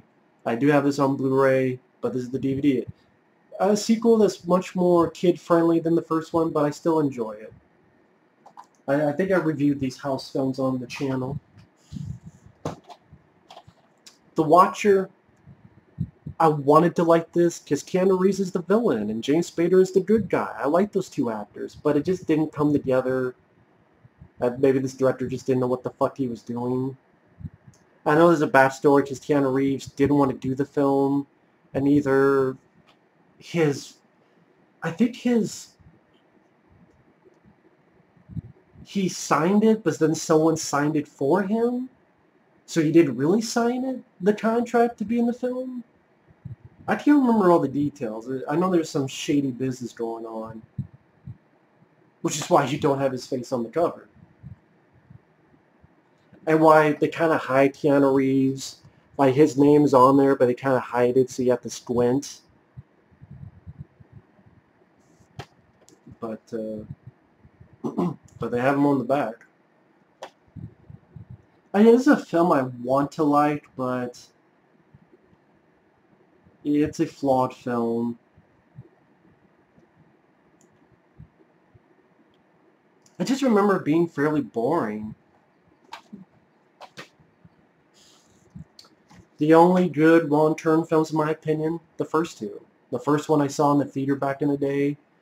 I really liked the lead guy, Desmond Harrington. I thought had some really awesome moments like the axe that just lands right next to the guy's face when it smashes to a tree.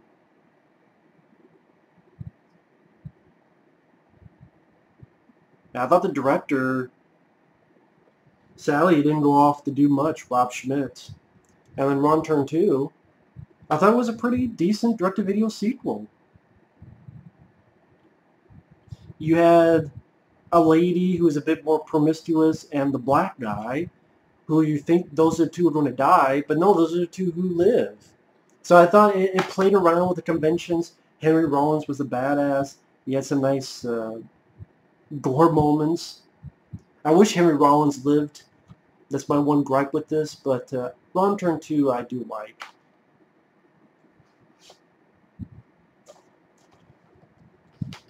The last decent Wrong Turn film. this is a film I have because I wanted to give another shot, and it's it's not that good of a movie. Hugh Jackman's not the problem. It's just much ado about nothing, and they really fucked up Deadpool in this. Gambit, he might as well not have even fucking been there. And Taylor Kitsch sucked as Gambit.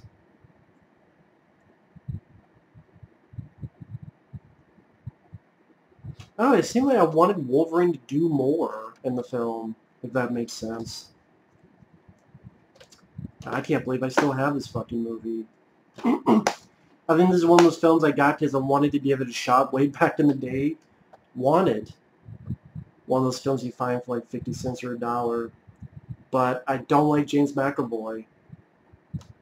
I mean, the, the curve in the bullets, the interesting idea, Morgan Freeman, Angelina Jolie I like, but I'm not a James McAvoy fan. And, uh, yeah, it's wanted. I reviewed this when I did my Jet Li marathon of American films. War. What is it good for? Absolutely nothing. Fuck this movie! I know my friend Effrey is a fan of this film. We agree to disagree on that. To me, this is bullshit. I mean, it seems like it'd be a big fight between the two. It's really not, and the director fucked up because like, we could have a cool fight, but no, I don't want to do that shit. Even Jet Li didn't like the film for good reason. And Jason Statham's like a bad guy, but then he's like, oh, I apologize, but then nothing really comes of that. Yeah, I, I didn't care for the story of the film. I thought the action scenes were rather weak. I, I ranted on the film. It's still on the channel. Oh, Hills Have Eyes 2. This is where it's at. I don't know why I... I guess I put the Blu-ray of the first one over there for some reason, but Hills Have Eyes 2. Time Waster. It's not a good movie, but I, I can watch it as a fun time waster. It, this does seem like an 80s slasher film, to be honest. I do mean that in a good way.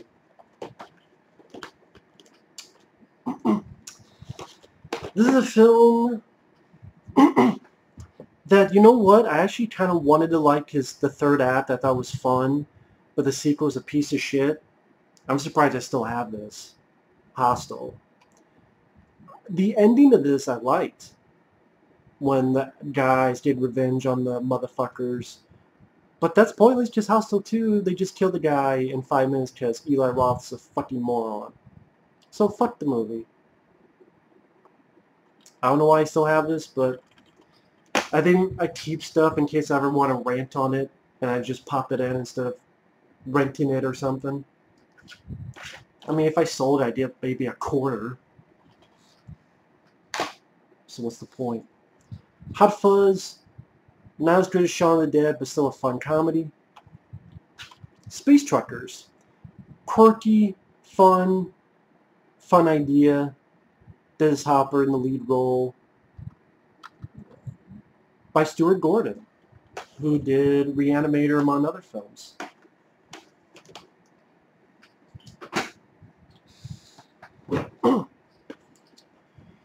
Space Invaders is something I remember seeing quite a bit when I was a kid.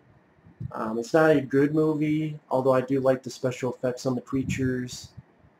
And the, there's a couple of bits of charm.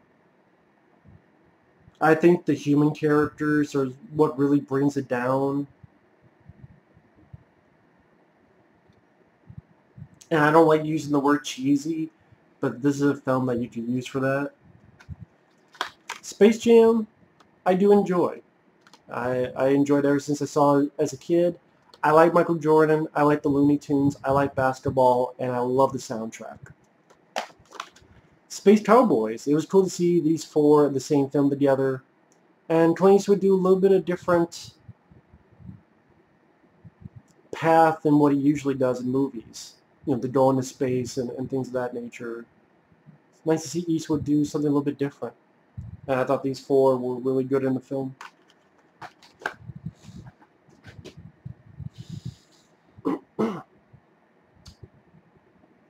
Let's see. I always forget there's so much shit, so much stuff in this, man. Damn, there's a lot of stuff in here. A lot of stuff. Holy shit. Forgot how big these boxes were. absolutely forgot how big these boxes were. Damn. Gigantic. Fuck. Damn, damn, damn. Come on. Come on, motherfuckers.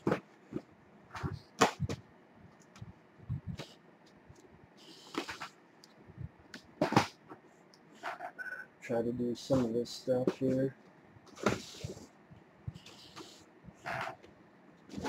Let's get to the bottom. And that way I'll make it easier for the cleanup. Come on, damn it.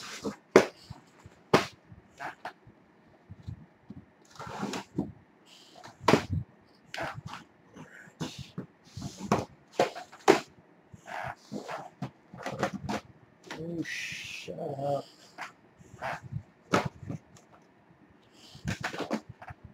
Alright. Damn, sorry about that, folks.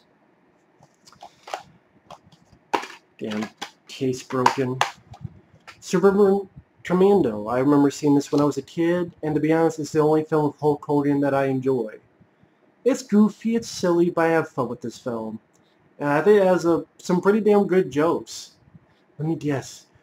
You don't pound my face. What you, you serious? This is the 90s. We don't sue you. So I thought, and I, I had fun with it. I know originally Schwarzenegger and Danny DeVito, I think, were going to do that film, but it didn't come to be. But I, I liked the film. Sum of All Fears is a film I wanted to like because I like Ben Affleck and I like Morgan Freeman. And it's a Jack Ryan movie. I like Patriot Games and uh, Clear and Present Danger. I would say Clear and Present Danger is my favorite Jack Ryan film. I didn't see the Chris... Uh, what the fuck is his name? Chris Pine one. But this film is pretty boring. It's not Ben Affleck's fault. It just the movie itself I thought was rather boring. Superbad, fun comedy. I still think it holds up to this day. Hilarious film. I have this on Blu-ray somewhere, but this is the DVD Super Mario Brothers. I like the film. I know a lot of people don't. I know it's not like the game, but to me, it's impossible to make that game into a movie. I'm sorry uh, a stereotypical Italian-American it's me, Mario, with a cum-catcher mustache, jumping on turtles, jumping on Goombas that look like giant turds, eating flowers, shooting fireballs, eating mushrooms, being 10 times taller, and fighting dinosaurs and turtles. Or bullets that come alive. I don't know how the fuck you make that into a movie you can feel free to tell me how. At least a live action film. So I like the cast, I like the music, I like the production design, I like the creativity. So Super Mario Brothers, I, I had fun with the film.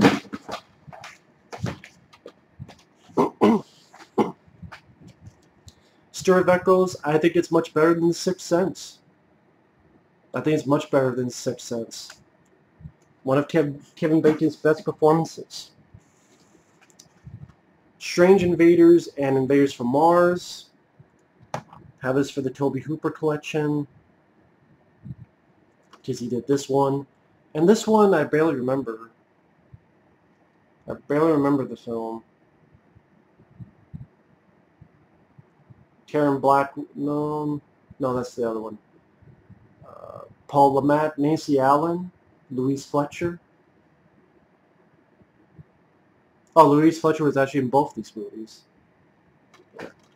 Maybe Phil have to rewatch it again.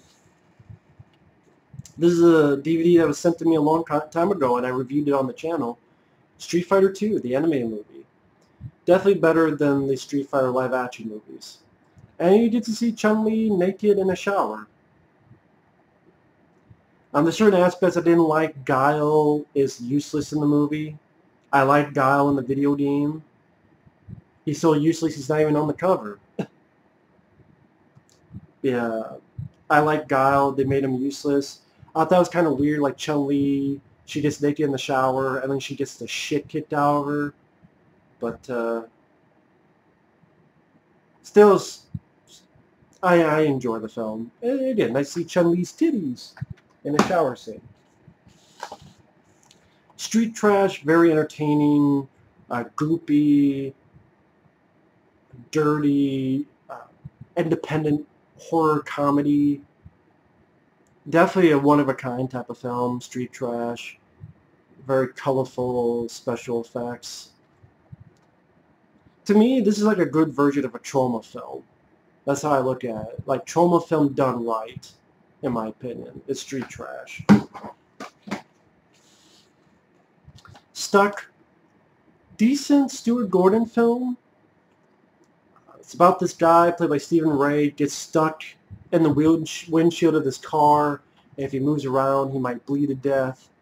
And Mena is like, oh, I don't know. I don't want to call the cops because I'll get in trouble. I'll get arrested. And he's stuck and he's wondering what he should do next, how to survive. Interesting original idea.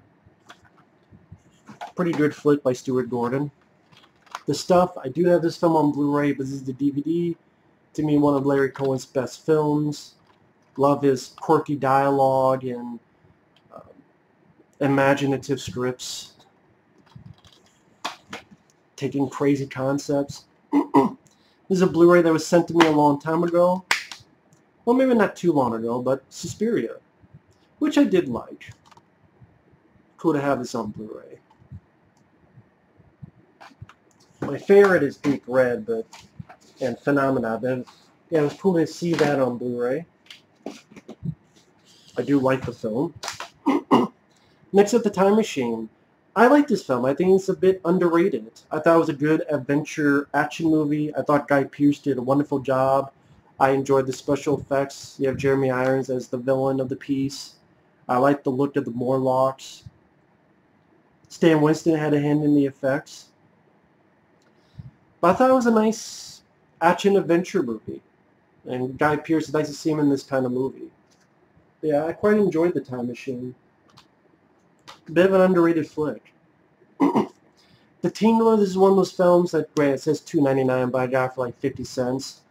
One to give a watch is uh, Vincent Price. Um, I don't remember much about it other than it being kind of a fun idea. If you stream, the tingler can be destroyed. If you don't, it will sever the spinal column and kill the individual. Uh, kind of an intriguing idea. Something Wicked This Way Comes. Someone actually asked me about this, and I got the DVD, and I have not been able to see it yet. Sorry, it's a bit darker, but you guys can still see. Soul Man, this is one of those films I got for cheap because I'm like, I gotta see this movie at least once. I mean, Mark Watson is going to Harvard Law School on a scholarship. The scholarship is for a black applicant. There's a problem. Mark is white. Brother, is he in for an education? Soul Man. Yep,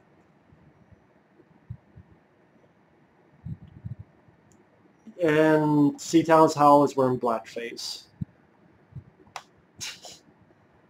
And directed by Steve Miner, who did Friday the 13th Part 2 and 3. and But you know what? If Rae Dawn Chong and James Earl Jones did not have a problem with the film, kind of hard for me to have a problem with it, because they're in the film. Again, if they had a problem with it, but they seemingly didn't. The Musketeer, this is a film I wanted to give a shot because it's directed by Peter Hyams, who I enjoy as a director, but this is a very forgettable, lame action film. This is like one of those films I saw all the time at a used store or pawn shop, and I think I'll pick it up. But yeah, it's pretty forgettable. I can't believe I have this. How, why the fuck do I have this movie? Oh, I think it's one of those films I picked up for 50 cents to give a look. Lady in the Water. And once again, M. Night Shyamalan, you're a piece of shit director. I have this film on Blu-ray. I think it's underrated. The Swarm. I think it's an entertaining disaster movie about killer bees. I like the scope of it. I like Michael Caine. I like the score by Jerry Goldsmith. I like the cast. I like The Swarm. You have Swingers. Fun movie. Fun comedy. I think it's hilarious. Very entertaining. I love Swingers. Very, very funny movie. this is given by to me by a good friend of mine, The Sword and the Sorcerer, because he had another copy. Not sure why this film's not on Blu-ray, but I love the crazy sword the guy has. That you know, blaze and shoot off. You got nudity, you got some gore. Very fun sword and sorcery movie. By Albert Pyun. Guy who directs Cyborg and many other films. The Sword and the Sorcerer.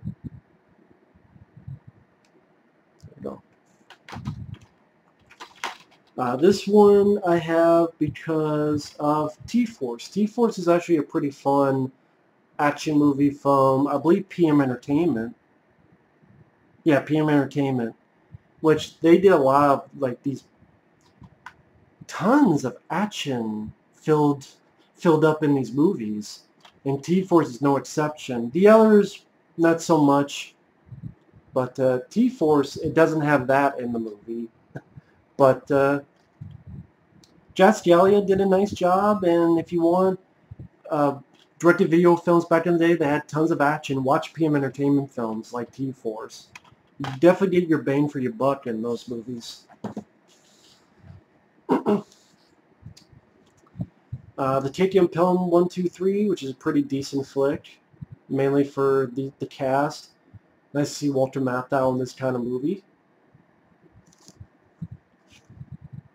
Terminal Velocity, really enjoyable film. Pretty damn underrated in my opinion. Love Terminal Velocity. Really impressive stunts and action scenes. The Thing from the World.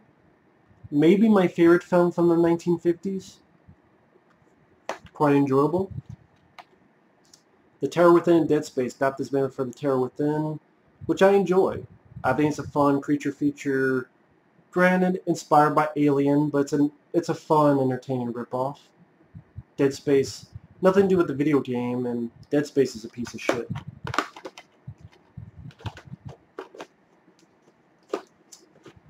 I actually got this for 50 cents because one day maybe I'll do a stream for uh, a commentary, ranting commentary on this. Yep, 50 cents. One day I want to do a ranting commentary on this fucking film. Streaming with you guys. Because I'm not sitting through that fucking thing alone. now, this is a good movie. 13 Ghosts. I actually like it more than the original. I thought Tony Shalhoub and Matthew Lillard did a good job with this. Tick, someone was asked on a live stream, they were asking me about this film. I do have it. I think I reviewed it. I could be wrong, but I believe I reviewed it. If not, it's a fun creature feature with some impressive special effects. Nice to see a young Seth Green in the movie. Uh, Clint Howard's in the film as well. Good uh, creature feature flick. Again, with some really impressive special effects, especially in the third act, where you have like this big tick come out of a person Actually, it's from uh, Alfonso Ribeiro, the guy from Fresh Prince of Bel-Air, Carlton. He's in the film as well. And he gets killed, and then a giant tick comes out of him. Again, some really impressive, gory special effects. Time to Kill, great drama with an impressive cast and the original Time Machine, which I do enjoy. I like the remake more, but I do enjoy this film. I thought Rod Taylor, who's in The Birds, he did a really good job in the lead role.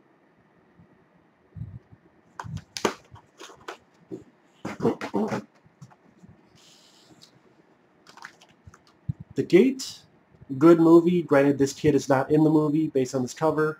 I know this has a Blu-ray release. Maybe one day I'll pick it up. But uh, yeah, this shows what you can do with a low budget. The imagination, the creativity, the effects they pulled off with the low budget was pretty damn impressive. With a very young Stephen Dorff. Galaxy of Terror, enjoyable film. None of this is in the movie. I don't know why it has this cover, but again, does it's one of those movies where it deals with your fears or your what's going on in your head and manifests itself physically.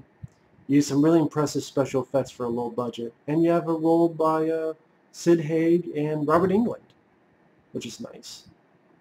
Again, it's really impressive stuff uh, effects-wise in this.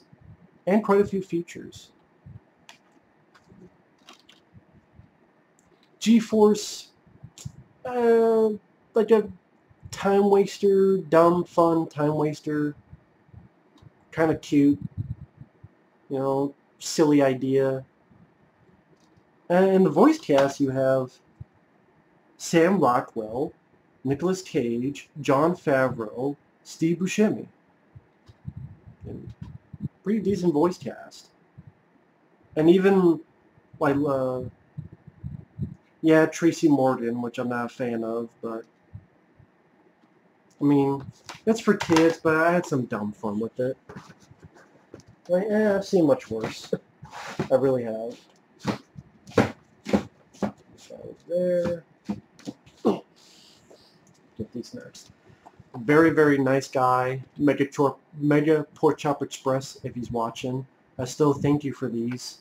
Video Nasties, the Definitive Guide, Volume 1 and 2 very, very impressive documentaries about what went on in the UK and how the media was being suppressed, how these movies were being suppressed, how you would be in trouble if you watched or sold these movies, the horror films. Very interesting stuff about a time in the UK history. And plus they have impressive supporting DVDs where they go through each of these titles and they have the trailers and they talk about each of these films very impressive uh, stuff. If you're a fan of movies, if you're a fan of movie history, these are definitely worth a look. I did reviews of these on the channel. If you're watching, thank you so much for these.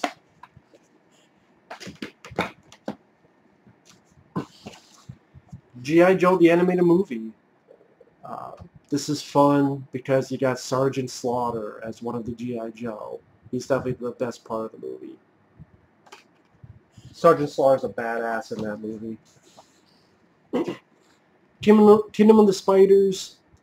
Uh, I was entertained by the film, creeped out because I hate spiders. Although the real killing of spiders and squishing, not needed. Not needed at all. Granted, I don't like spiders, but you don't need to kill them for a movie. You know, and not as good as Arachnophobia, but I still got some enjoyment out of Kingdom of the Spiders. I thought William Shatner did a good job.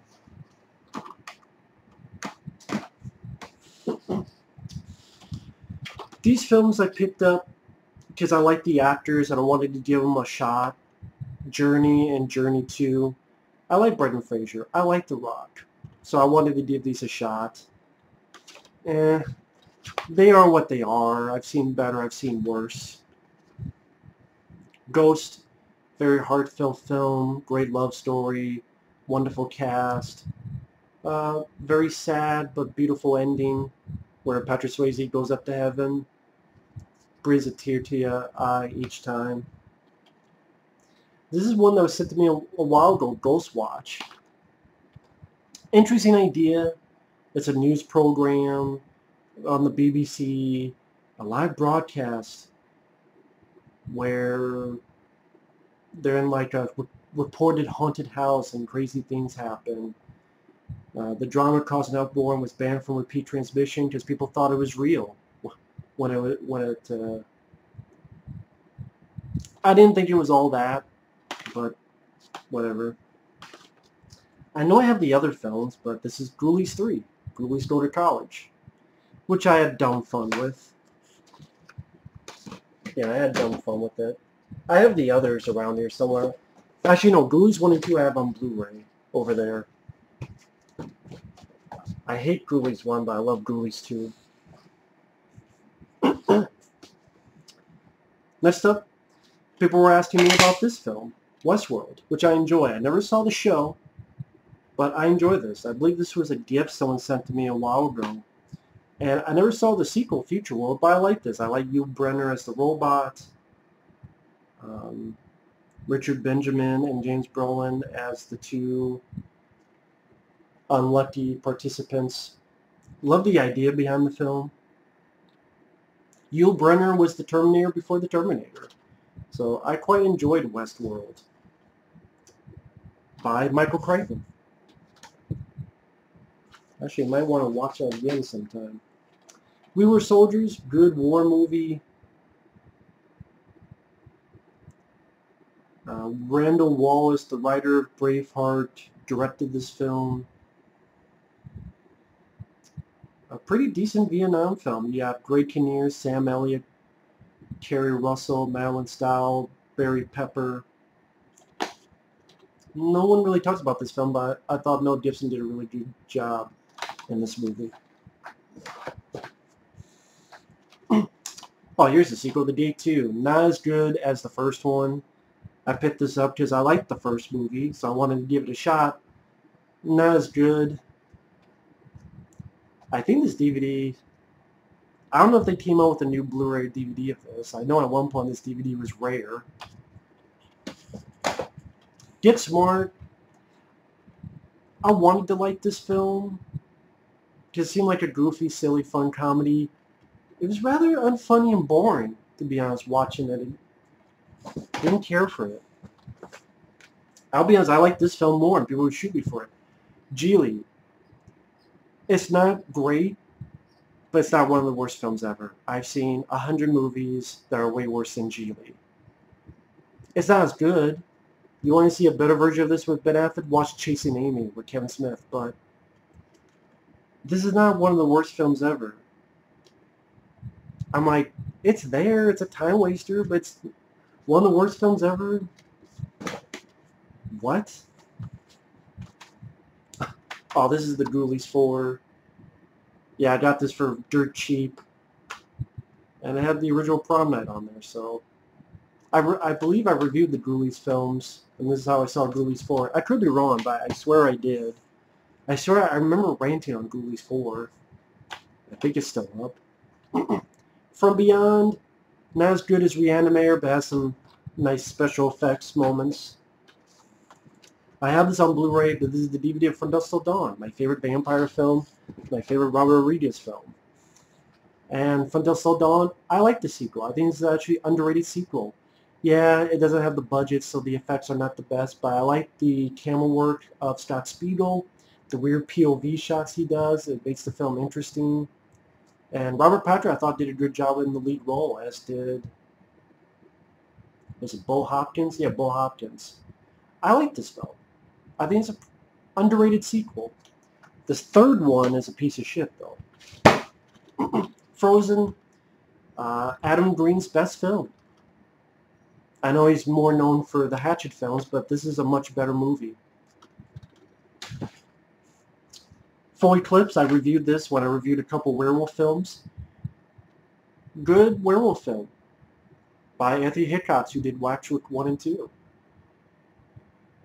interesting idea where this group of the secret police unit are actually werewolves and they take out bad guys and they want Mario Van Peebles as a new recruit but they, he realizes they're going above the wall. You also have Patsy Kensit from Lethal Weapon 2, Bruce Payne. Yeah, I enjoyed this film. Thing is made for cable HBO but uh, I thought they did a good job with it.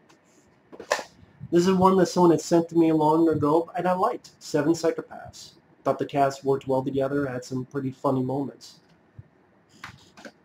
I swear I have this film on Blu-ray. I could be wrong, but uh, Innerspace. Fun comedy by Joe Dante with Dennis Quaid and Martin Short.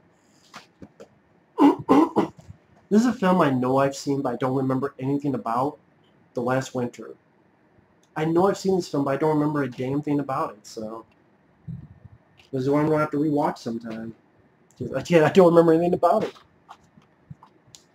Grosse Pointe Blank. I think I reviewed this film. I love the film.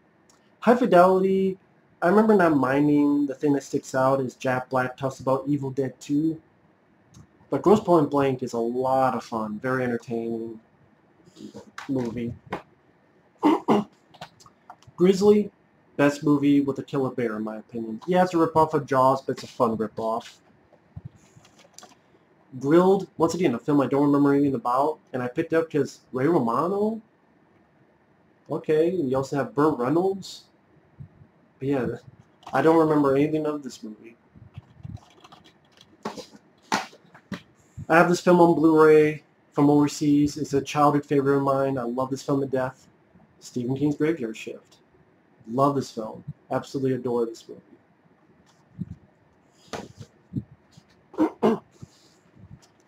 the Ghost and the Darkness. I don't mind as a time waster. Uh, Michael Douglas, uh, his character dies a bit too early in the film for my liking. Uh, I kind of wish he was the lead and Val Kilmer was the other guy. But uh, I didn't mind it for what it was. I could, I could watch the film. the Island, Michael Bay film that I enjoy. Bit underrated. Beautiful musical score, some really stellar action sequences. I thought the cast, especially Ewan McGregor, did a great job. Uh, the Island is pretty fun. I know it ripped some movie off, but I don't care. And then The Island, I remember a guy named Dustin Keckler who used to be on YouTube. I don't know what happened to him. Um, he gave this to me. And I like the film. It's flawed, but Michael Caine gets a 50 caliber and wipes out a bunch of pirates at the end. So that made me fall in love with the movie. Got this three-pack of Tom Berenger, mainly for Sniper, which is a good flick. One shot, one kill. And then you have Sniper 2, which is alright, but I stepped down from the first one, and I know I have the third one around here somewhere. But that's Sniper 1 and 2. I think right here we have Sni Sniper 3. Again, a step down from the first two, but...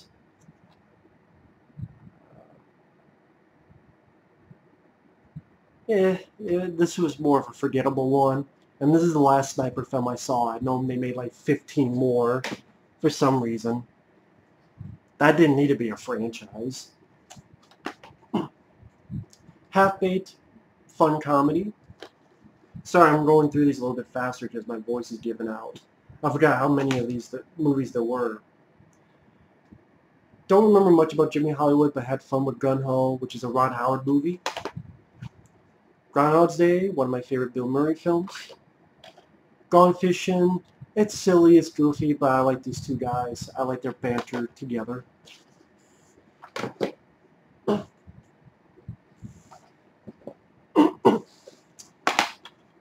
The Good Son, I enjoyed this film. Thought Macaulay Culkin and Elijah Wood did a good job in it. I still have these films, just one day I'll, I'll review these, but I'm not in the fair frame of mind Jeepers Creepers 1 and 2. I didn't see the third one. The thing is, this is directed by a pedophile, and when you watch the films, he put his pedophile ideas in the film. If you don't believe me, watch these films again. Like Jeepers Creepers, there's a moment where the creature smells the guy's underwear, and the guy, some extra goes, he was smelling your underwear. In the second film, the director is literally having the camera on countless shirtless guys sunbathing on a school bus. And a creeper is looking through a window and licking the window looking at guys. And the creeper wants body parts, mainly of guys. You notice the creeper, most of his victims are men that he wants. They're pieces to eat. And he's called the creeper. That's what I mean. Victor Salva, the pedophile, put his pedophile shit in the movie. You don't believe me, watch the films again. I'm not making the shit up. It's there.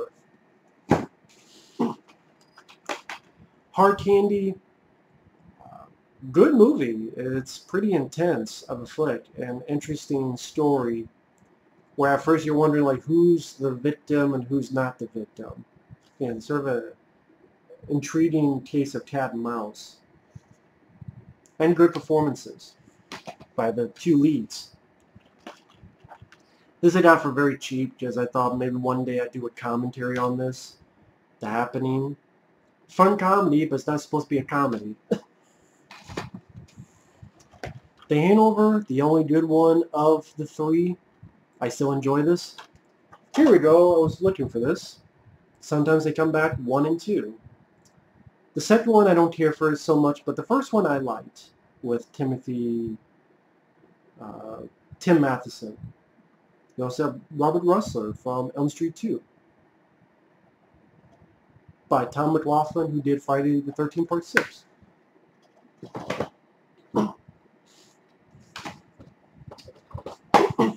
This is a film that it's low budget, it's hampered by its low budget, but I still enjoy it for what it is.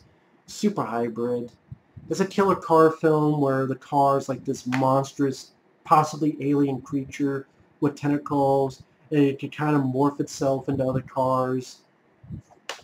And is killing people in a car garage. Uh, again, for a direct-to-video, I had some dumb fun with this. Solaris this is a film I remember seeing. I don't remember anything about. but it has George Clooney in it.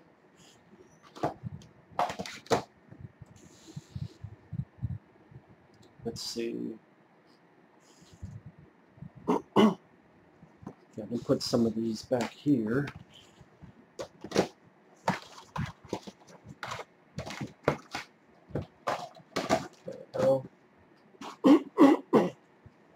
Yeah, I'm sorry about that, folks. I didn't think this video would go on so long. But there you go. You got Shawshank Redemption, which I reviewed. I love this film. Fantastic movie. Sorry for the squeaking of the chair. Shaun of the Dead. I think the best film Edgar Wright has done. Still a very funny movie. The Sherlock Holmes films. I still think the first one is the better movie, but it's fun to see Robert Downey Jr. play the role. He does a great job with it. And he has some nice banter with Jude Law. Raising Arizona, one of the Coen brothers' best films. My favorite is The Big Lebowski, but this is a fun movie. Reindeer Games. Not that bad of a film. I like Ben Affleck, Charlize Theron, Gary Sinise.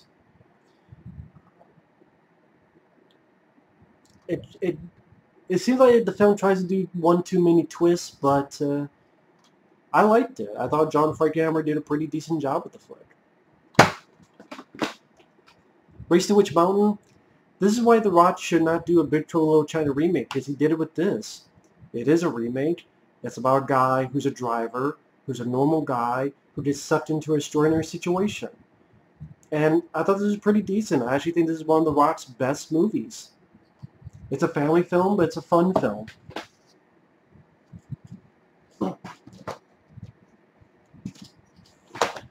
Regarding Henry, one of Harrison Ford's most underrated performances.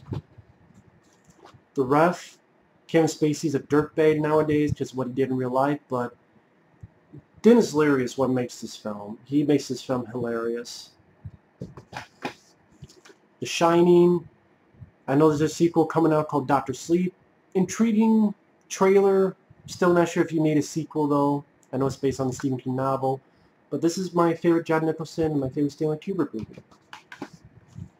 Snakes on a Plane. Saw this in the theater when it came out. Had some dumb fun with it. The CGI on the snakes, they're bad, but you know, th there's some fun B-movie stuff in this movie. I, I have fun with the film. Slither, pretty decent flip by James Gunn. Nathan Fillion is great in the movie. Slither. Mm-hmm. Sleepy Hollow, one of my favorite Tim Burton movies. Sky Captain World of Tomorrow. I have this on Blu-ray somewhere. I reviewed this film a long while ago. I like this film. I think it's a bit underrated. I love the visual style of this and the creativity. It made it look like the Fleischer Superman cartoons of the 40s. Sad this film bombed so badly. I feel bad for the director. Silver Bullet, one of my favorite werewolf films. I thought Corey Haim did a great job. Iron Eagle, fuck the sequels. This is the only good one. And I like Top Gun, but I would say I like this film even more. I think because the appeal of a guy trying to rescue his dad was just stuck to me more than when uh, just Tom Cruise trying to fuck a girl. There's more to it than that, but I like Top Gun, but I like Iron Eagle more. I Robot. I have a review of this film on the channel. One of my favorite Will Smith movies. I like I Robot a lot. Into the Blue saw this for Paul Walker, but I think this is one of Paul Walker's weakest films. Pretty boring movie. Revenge of the Nerds. This has all four movies. To me, the only good one is the first one. The sequel, the second one is there, eh. But the first one's really good. Three and four are fucking crap. The Jerk, fun Steve Martin comedy. Jack Brooks Monster Slayer, a film that Sally got completely forgotten. Would like to have seen sequels to this, but I thought this was an entertaining film about a guy who has a anger problem and defends his college school against monsters. But it has Robert Englund in it. Entertaining movie, some good effects, but again, the film bombed badly. And no one talks about it. No one remembers the film. Love Stephen King's It. Don't care for the new one. I know there's a documentary coming out. I look forward to that. Uh, these were a gift. I think the guy said at one time he's going to send the third film, but never came around, which is cool. I have it on DVD. But this is Jurassic Park 1 and 2 on Blu-ray. I have reviews of these films on the channel. Jumpin' Jack Flash, my favorite Whoopi Goldberg film and one of my favorite 80s comedies. Judgment Night, I have a review of this up on the channel. This is a wonderful gift from a nice guy.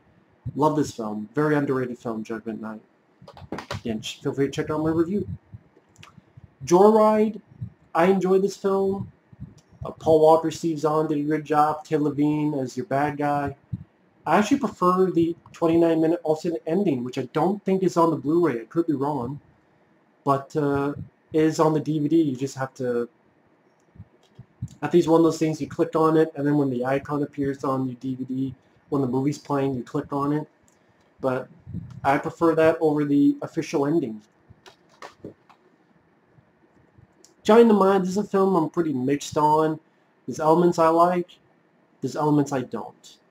I like the idea and the look of the film, but a flipper kills Dolph Lundgren. I'm like, what the fuck? A dolphin kills Dolph Lundgren? was because he has Dolphin in his name. Dolphin kills Dolph. John Candy Trilogy. I reviewed these when I did my John Candy Marathon. Uh, Going Berserk was there, but quite enjoy Uncle Buck and the Great Outdoors. Again, I reviewed all of John Candy's movies on the channel. Feel free to check those out. I barely remember Joe Somebody. Welcome to Mooseport. I remember it being there, but not as bad as people make it out to be. I like Ray Romano. I like Gene Hackman, so it's there. I have this on Blu-ray, but Killer from Outer Space, love the film, love the creativity, the ingenuity, the special effects. Very creative movie. Very original film, too. Okay, let me get these out. and get to the bottom of this as well. A lot longer than I thought it'd be this video, but maybe some people will enjoy it. And you guys over here. And alright, let me get a couple of these.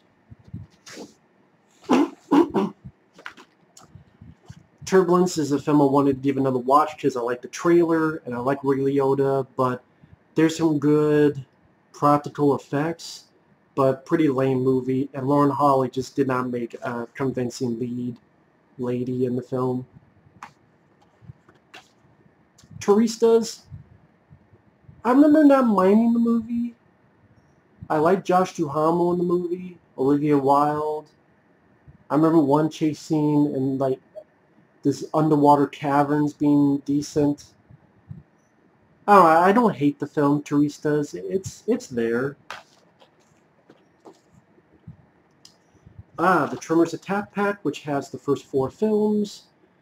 Uh, really, the first two are the only good ones. Three is meh. Four is shitty. And the new ones are shitty too. But the first two, to me, are classic. Yes, there was a TV show. And then they tried to do another TV show, but with Kevin Bacon. Got this for the collection. There's a couple decent episodes, but you tell even by the end of the season they were running out of ideas. Because Tremors, there's you can't do a TV show on it. There's not much you can do. There were a couple alright episodes, but again, even 13 episodes, they were running out of ideas. They really were.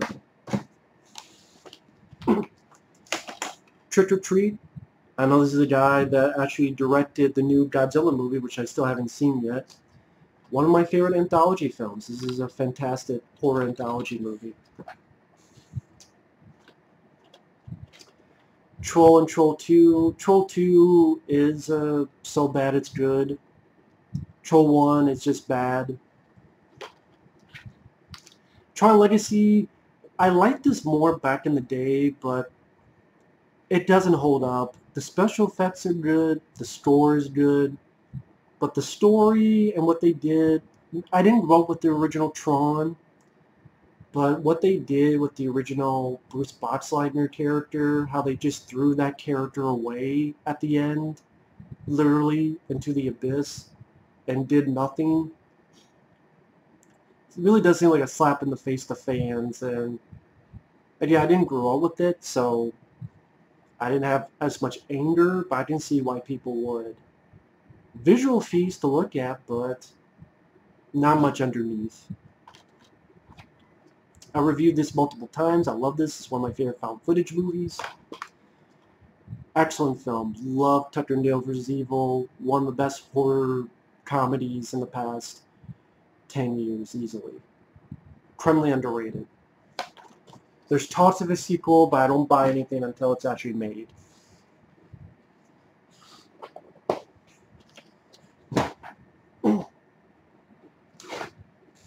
Someone was actually asking me about this in a live stream, Trapped in Paradise. I like the film. I thought the three worked well together, and it's a fun Christmas comedy. Has a good heart to it as well. These three criminals and sort of the niceness of this town infect them to where they change their ways. Wall-E, my favorite Pixar film, beautiful animation, love this film very much. I think it's a fantastic movie, Wall-E. Tiny, criminally underrated, deserves a Blu-ray. I know this film bombed and it killed the studio. What was it? Uh, what was the name of the studio? It was for Fox, but it was like, was it just called like Fox Animation or something? Anyway, it killed it, sad to say. But I like it. You had Matt Damon, Bill Pullman, John Leguizamo, Nathan Lane, Drew Barrymore as the voices. Wonderful soundtrack by Don Bluth and Gary Goldman. Very underrated film. Wish this had a Blu-ray HD release. Love Titan This is Creature from 1985. Only here it's called Titan Find. This is a DVD that was limited. Now, I don't know if you can get this anymore. I think it's out of print. But, again, under, this, AKA Creature. But to see in widescreen and better picture quality. And this has a couple features as well. I enjoy this film. I think this is a fun creature feature flick. Entertaining special effects. I like some of the cast members. Yeah, maybe a ripoff of Alien, but I think it's an enjoyable one. Like it quite a bit. I reviewed this when I did my Chris Farley marathon. Love Tommy Boy. Hilarious film. Got this for my Mark Dacascos collection, Red Line, which I don't remember much about this. I know he's the bad guy and Rutger Hauer's the good guy. And then Top of the World, which is a pretty decent flick. I mean, you got Peter Weller, Dennis Hopper, Tia Carrere, David Alan Grier, Cary-Hiroyuki Tagawa. You have a crazy cast. And footage of this was stolen and put into some Steven Seagal movies. Yep, but Top of the World, pretty decent flick. The Town, very solid movie. I thought Ben Affleck did a wonderful job directing this. Him and Jeremy Renner worked wonderfully together. Good movie, The Town.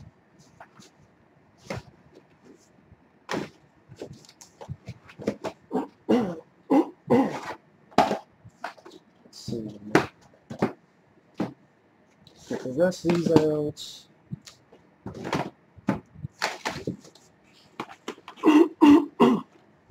Again, sorry for my voice, folks. U-Turn, this is a movie I wanted to check out because it's an Oliver Stone film. You uh, got Sean Penn, Jennifer Lopez, Nick Nolte, Billy Bob Thornton, Powers Boothe. Ended up not liking the film, sad to say. Just wasn't for me.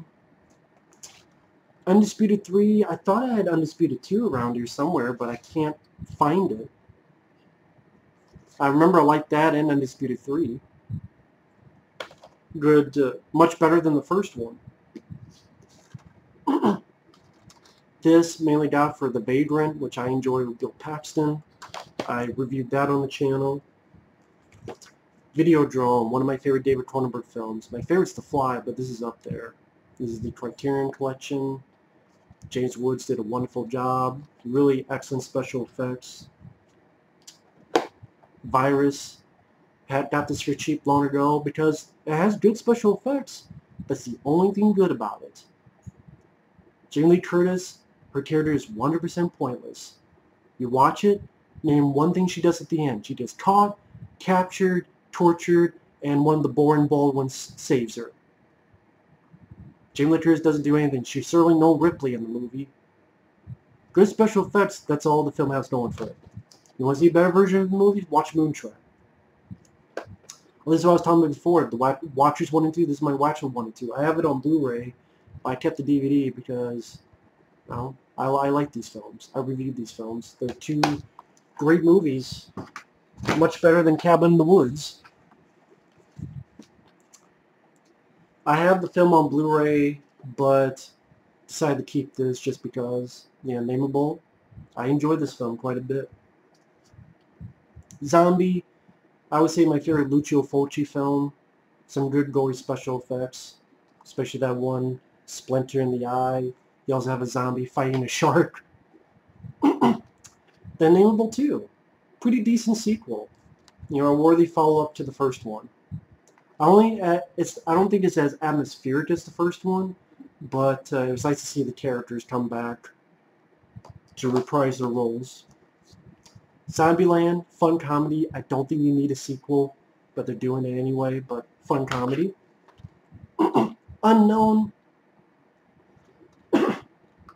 eh, it's there. Not a big fan of the movie, but fun to have for the Liam Neeson collection. UHF, pretty fun comedy. Has some nice parodies. I thought Weird Al Yankovic actually did a pretty decent job with the film. Definitely out there. And in these films, I wanted to give another shot. Underworld and Underworld Evolution. And no, I did not pay that much for that. The first one, not a fan of. The sequel, not that bad, honestly. I thought it was better than the first one. First Underworld I saw in the theater. I was bored. gave another shot. I was still bored with it. Yeah, I think the second one and the fourth one, Underworld Awakening, I think are much better. Heathers, very dark, twisted, fun, uh, dark comedy. I don't know why they tried to make a TV show, whatever, out of this. Earth Girls are easy. Only got this because of the cast. Jim Carrey, Jeff Goldblum. It was there. Wasn't big on it. It was there. Stupid squeaking chair. Used Cars, fun movie with Robert Zemeckis directing, starring Kurt Russell. Actually has a commentary, Rob Zemeckis, Kurt Russell, and Bob Gale, which is a fun commentary. Used Cars. What About Bob? A very funny comedy. Apparently these two hated working with each other, but, or at least Richard Dreyfuss hated working with Bill Murray, but uh, it worked for the movie. I don't know why I have this. I think it's one of those movies I got for 50 cents because I'm like, okay, what's this movie about? And it's a piece of shit. Wow, what a surprise. What's the worst that could happen? You could watch this movie. I like Martin Lawrence and Danny DeVito, but this is just a very lame, forgettable, nothing of a film. Wasn't that funny. Where the Buffalo Roam, sort of predecessor to Fear and Loathing Las Vegas, where he Bill Murray's playing Hunter S. Thompson, which Johnny Depp would play in that. Fun movie. I really enjoy this film. I think this is one of Bill Murray's most underrated movies, Where the Buffalo Roam. White Chicks. I wanted to check this out because I like Scary Movie 1 and 2, but I ended up not liking this film much at all. It just didn't do much for me. And Little Man is way worse. White Noise 2, I have this because I think it's much better than the first movie. Nathan Fillion did a good job. The ending was more satisfying compared to the first movie. And uh, I thought the story was kind of interesting. So yeah, I think this is a much better film than the, the first White Noise.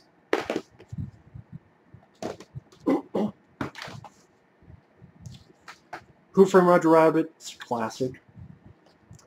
This I got because I rented this, and the commentary is a lot funnier than the movie. Who's Your Caddy? This movie is god-awful. And grant, the, the commentary, granted, they're proud of the movie, but it's still a very funny comedy, commentary. Because Faizon Love's on there, the, the guy on the right there, and he's pretty funny. A lot funnier than he is in the movie. Wild Hogs, I, I like the cast in this. I was entertained by this film. There was plans of a sequel, but it never came about. Willard I actually saw this in the theater. I was one of the only people in the theater at the time, but I saw this in the theater and I liked it. I thought Crispin Glover was creepy, and I thought I had a lot of creepy moments with the rats. Willow, good fantasy film by Ron Howard. Wonderful musical score. One of Val Kilmer's best roles. Wishmaster 1 and 2, I know there's a pack with new special features, but it's a bit too expensive for me. When I only really liked the first one. The second one, not so much. I, I reviewed all the Wishmaster films on the channel. I just remembered that. But the first one's great. The sequel's not so much. They went down downhill quick with that shit.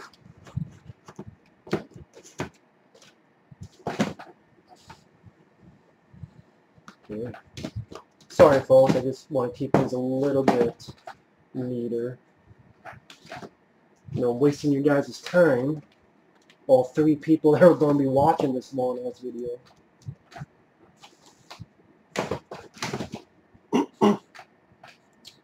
um, okay, so I have that left.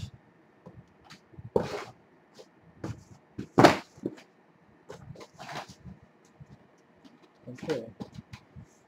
This, sorry folks, one second. If I don't do this, it'll just bug the hell out of me. Put that there. Put this here. Slide that in here.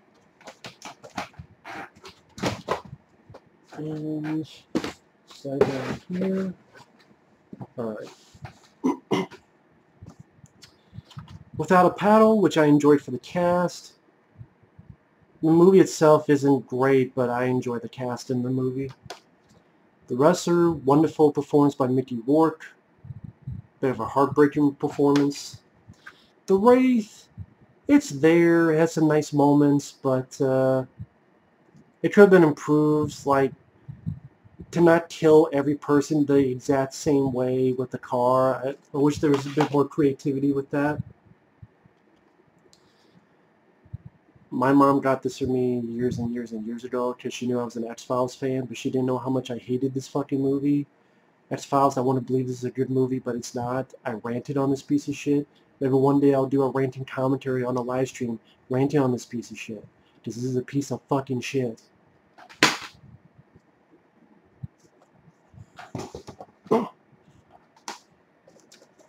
Oh, someone was asking me about Xtro. Xtro has some fun effects, but it's a shitty movie. I actually think Xtro 2 is a better better film, honestly. More competent film. More straightforward film, Xtro 2. It's an Alien ripoff, but it's more straightforward than Xtro 1.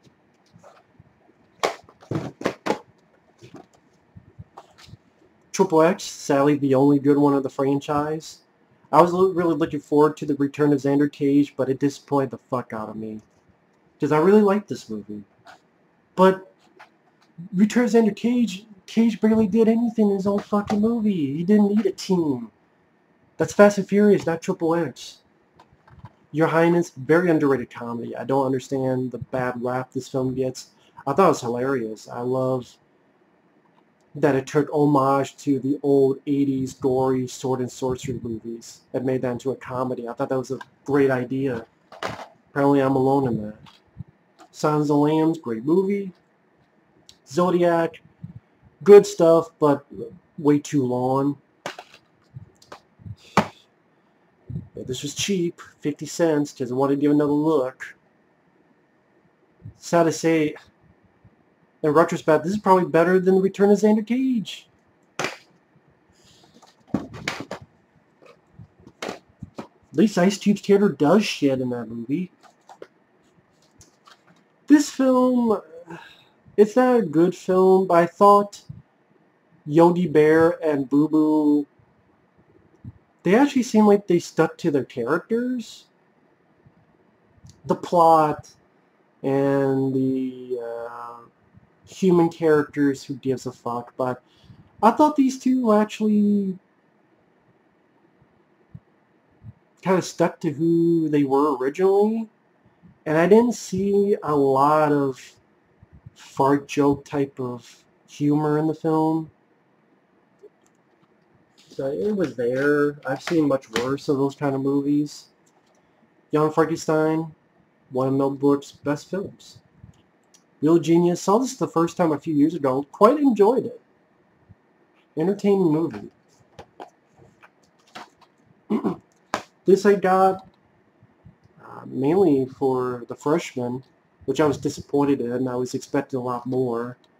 You also have Holy Moses, Vice Versa, and A Fine Mess. I haven't seen those other ones. Well, Vice Versa I saw, I didn't care for, but haven't seen the other two.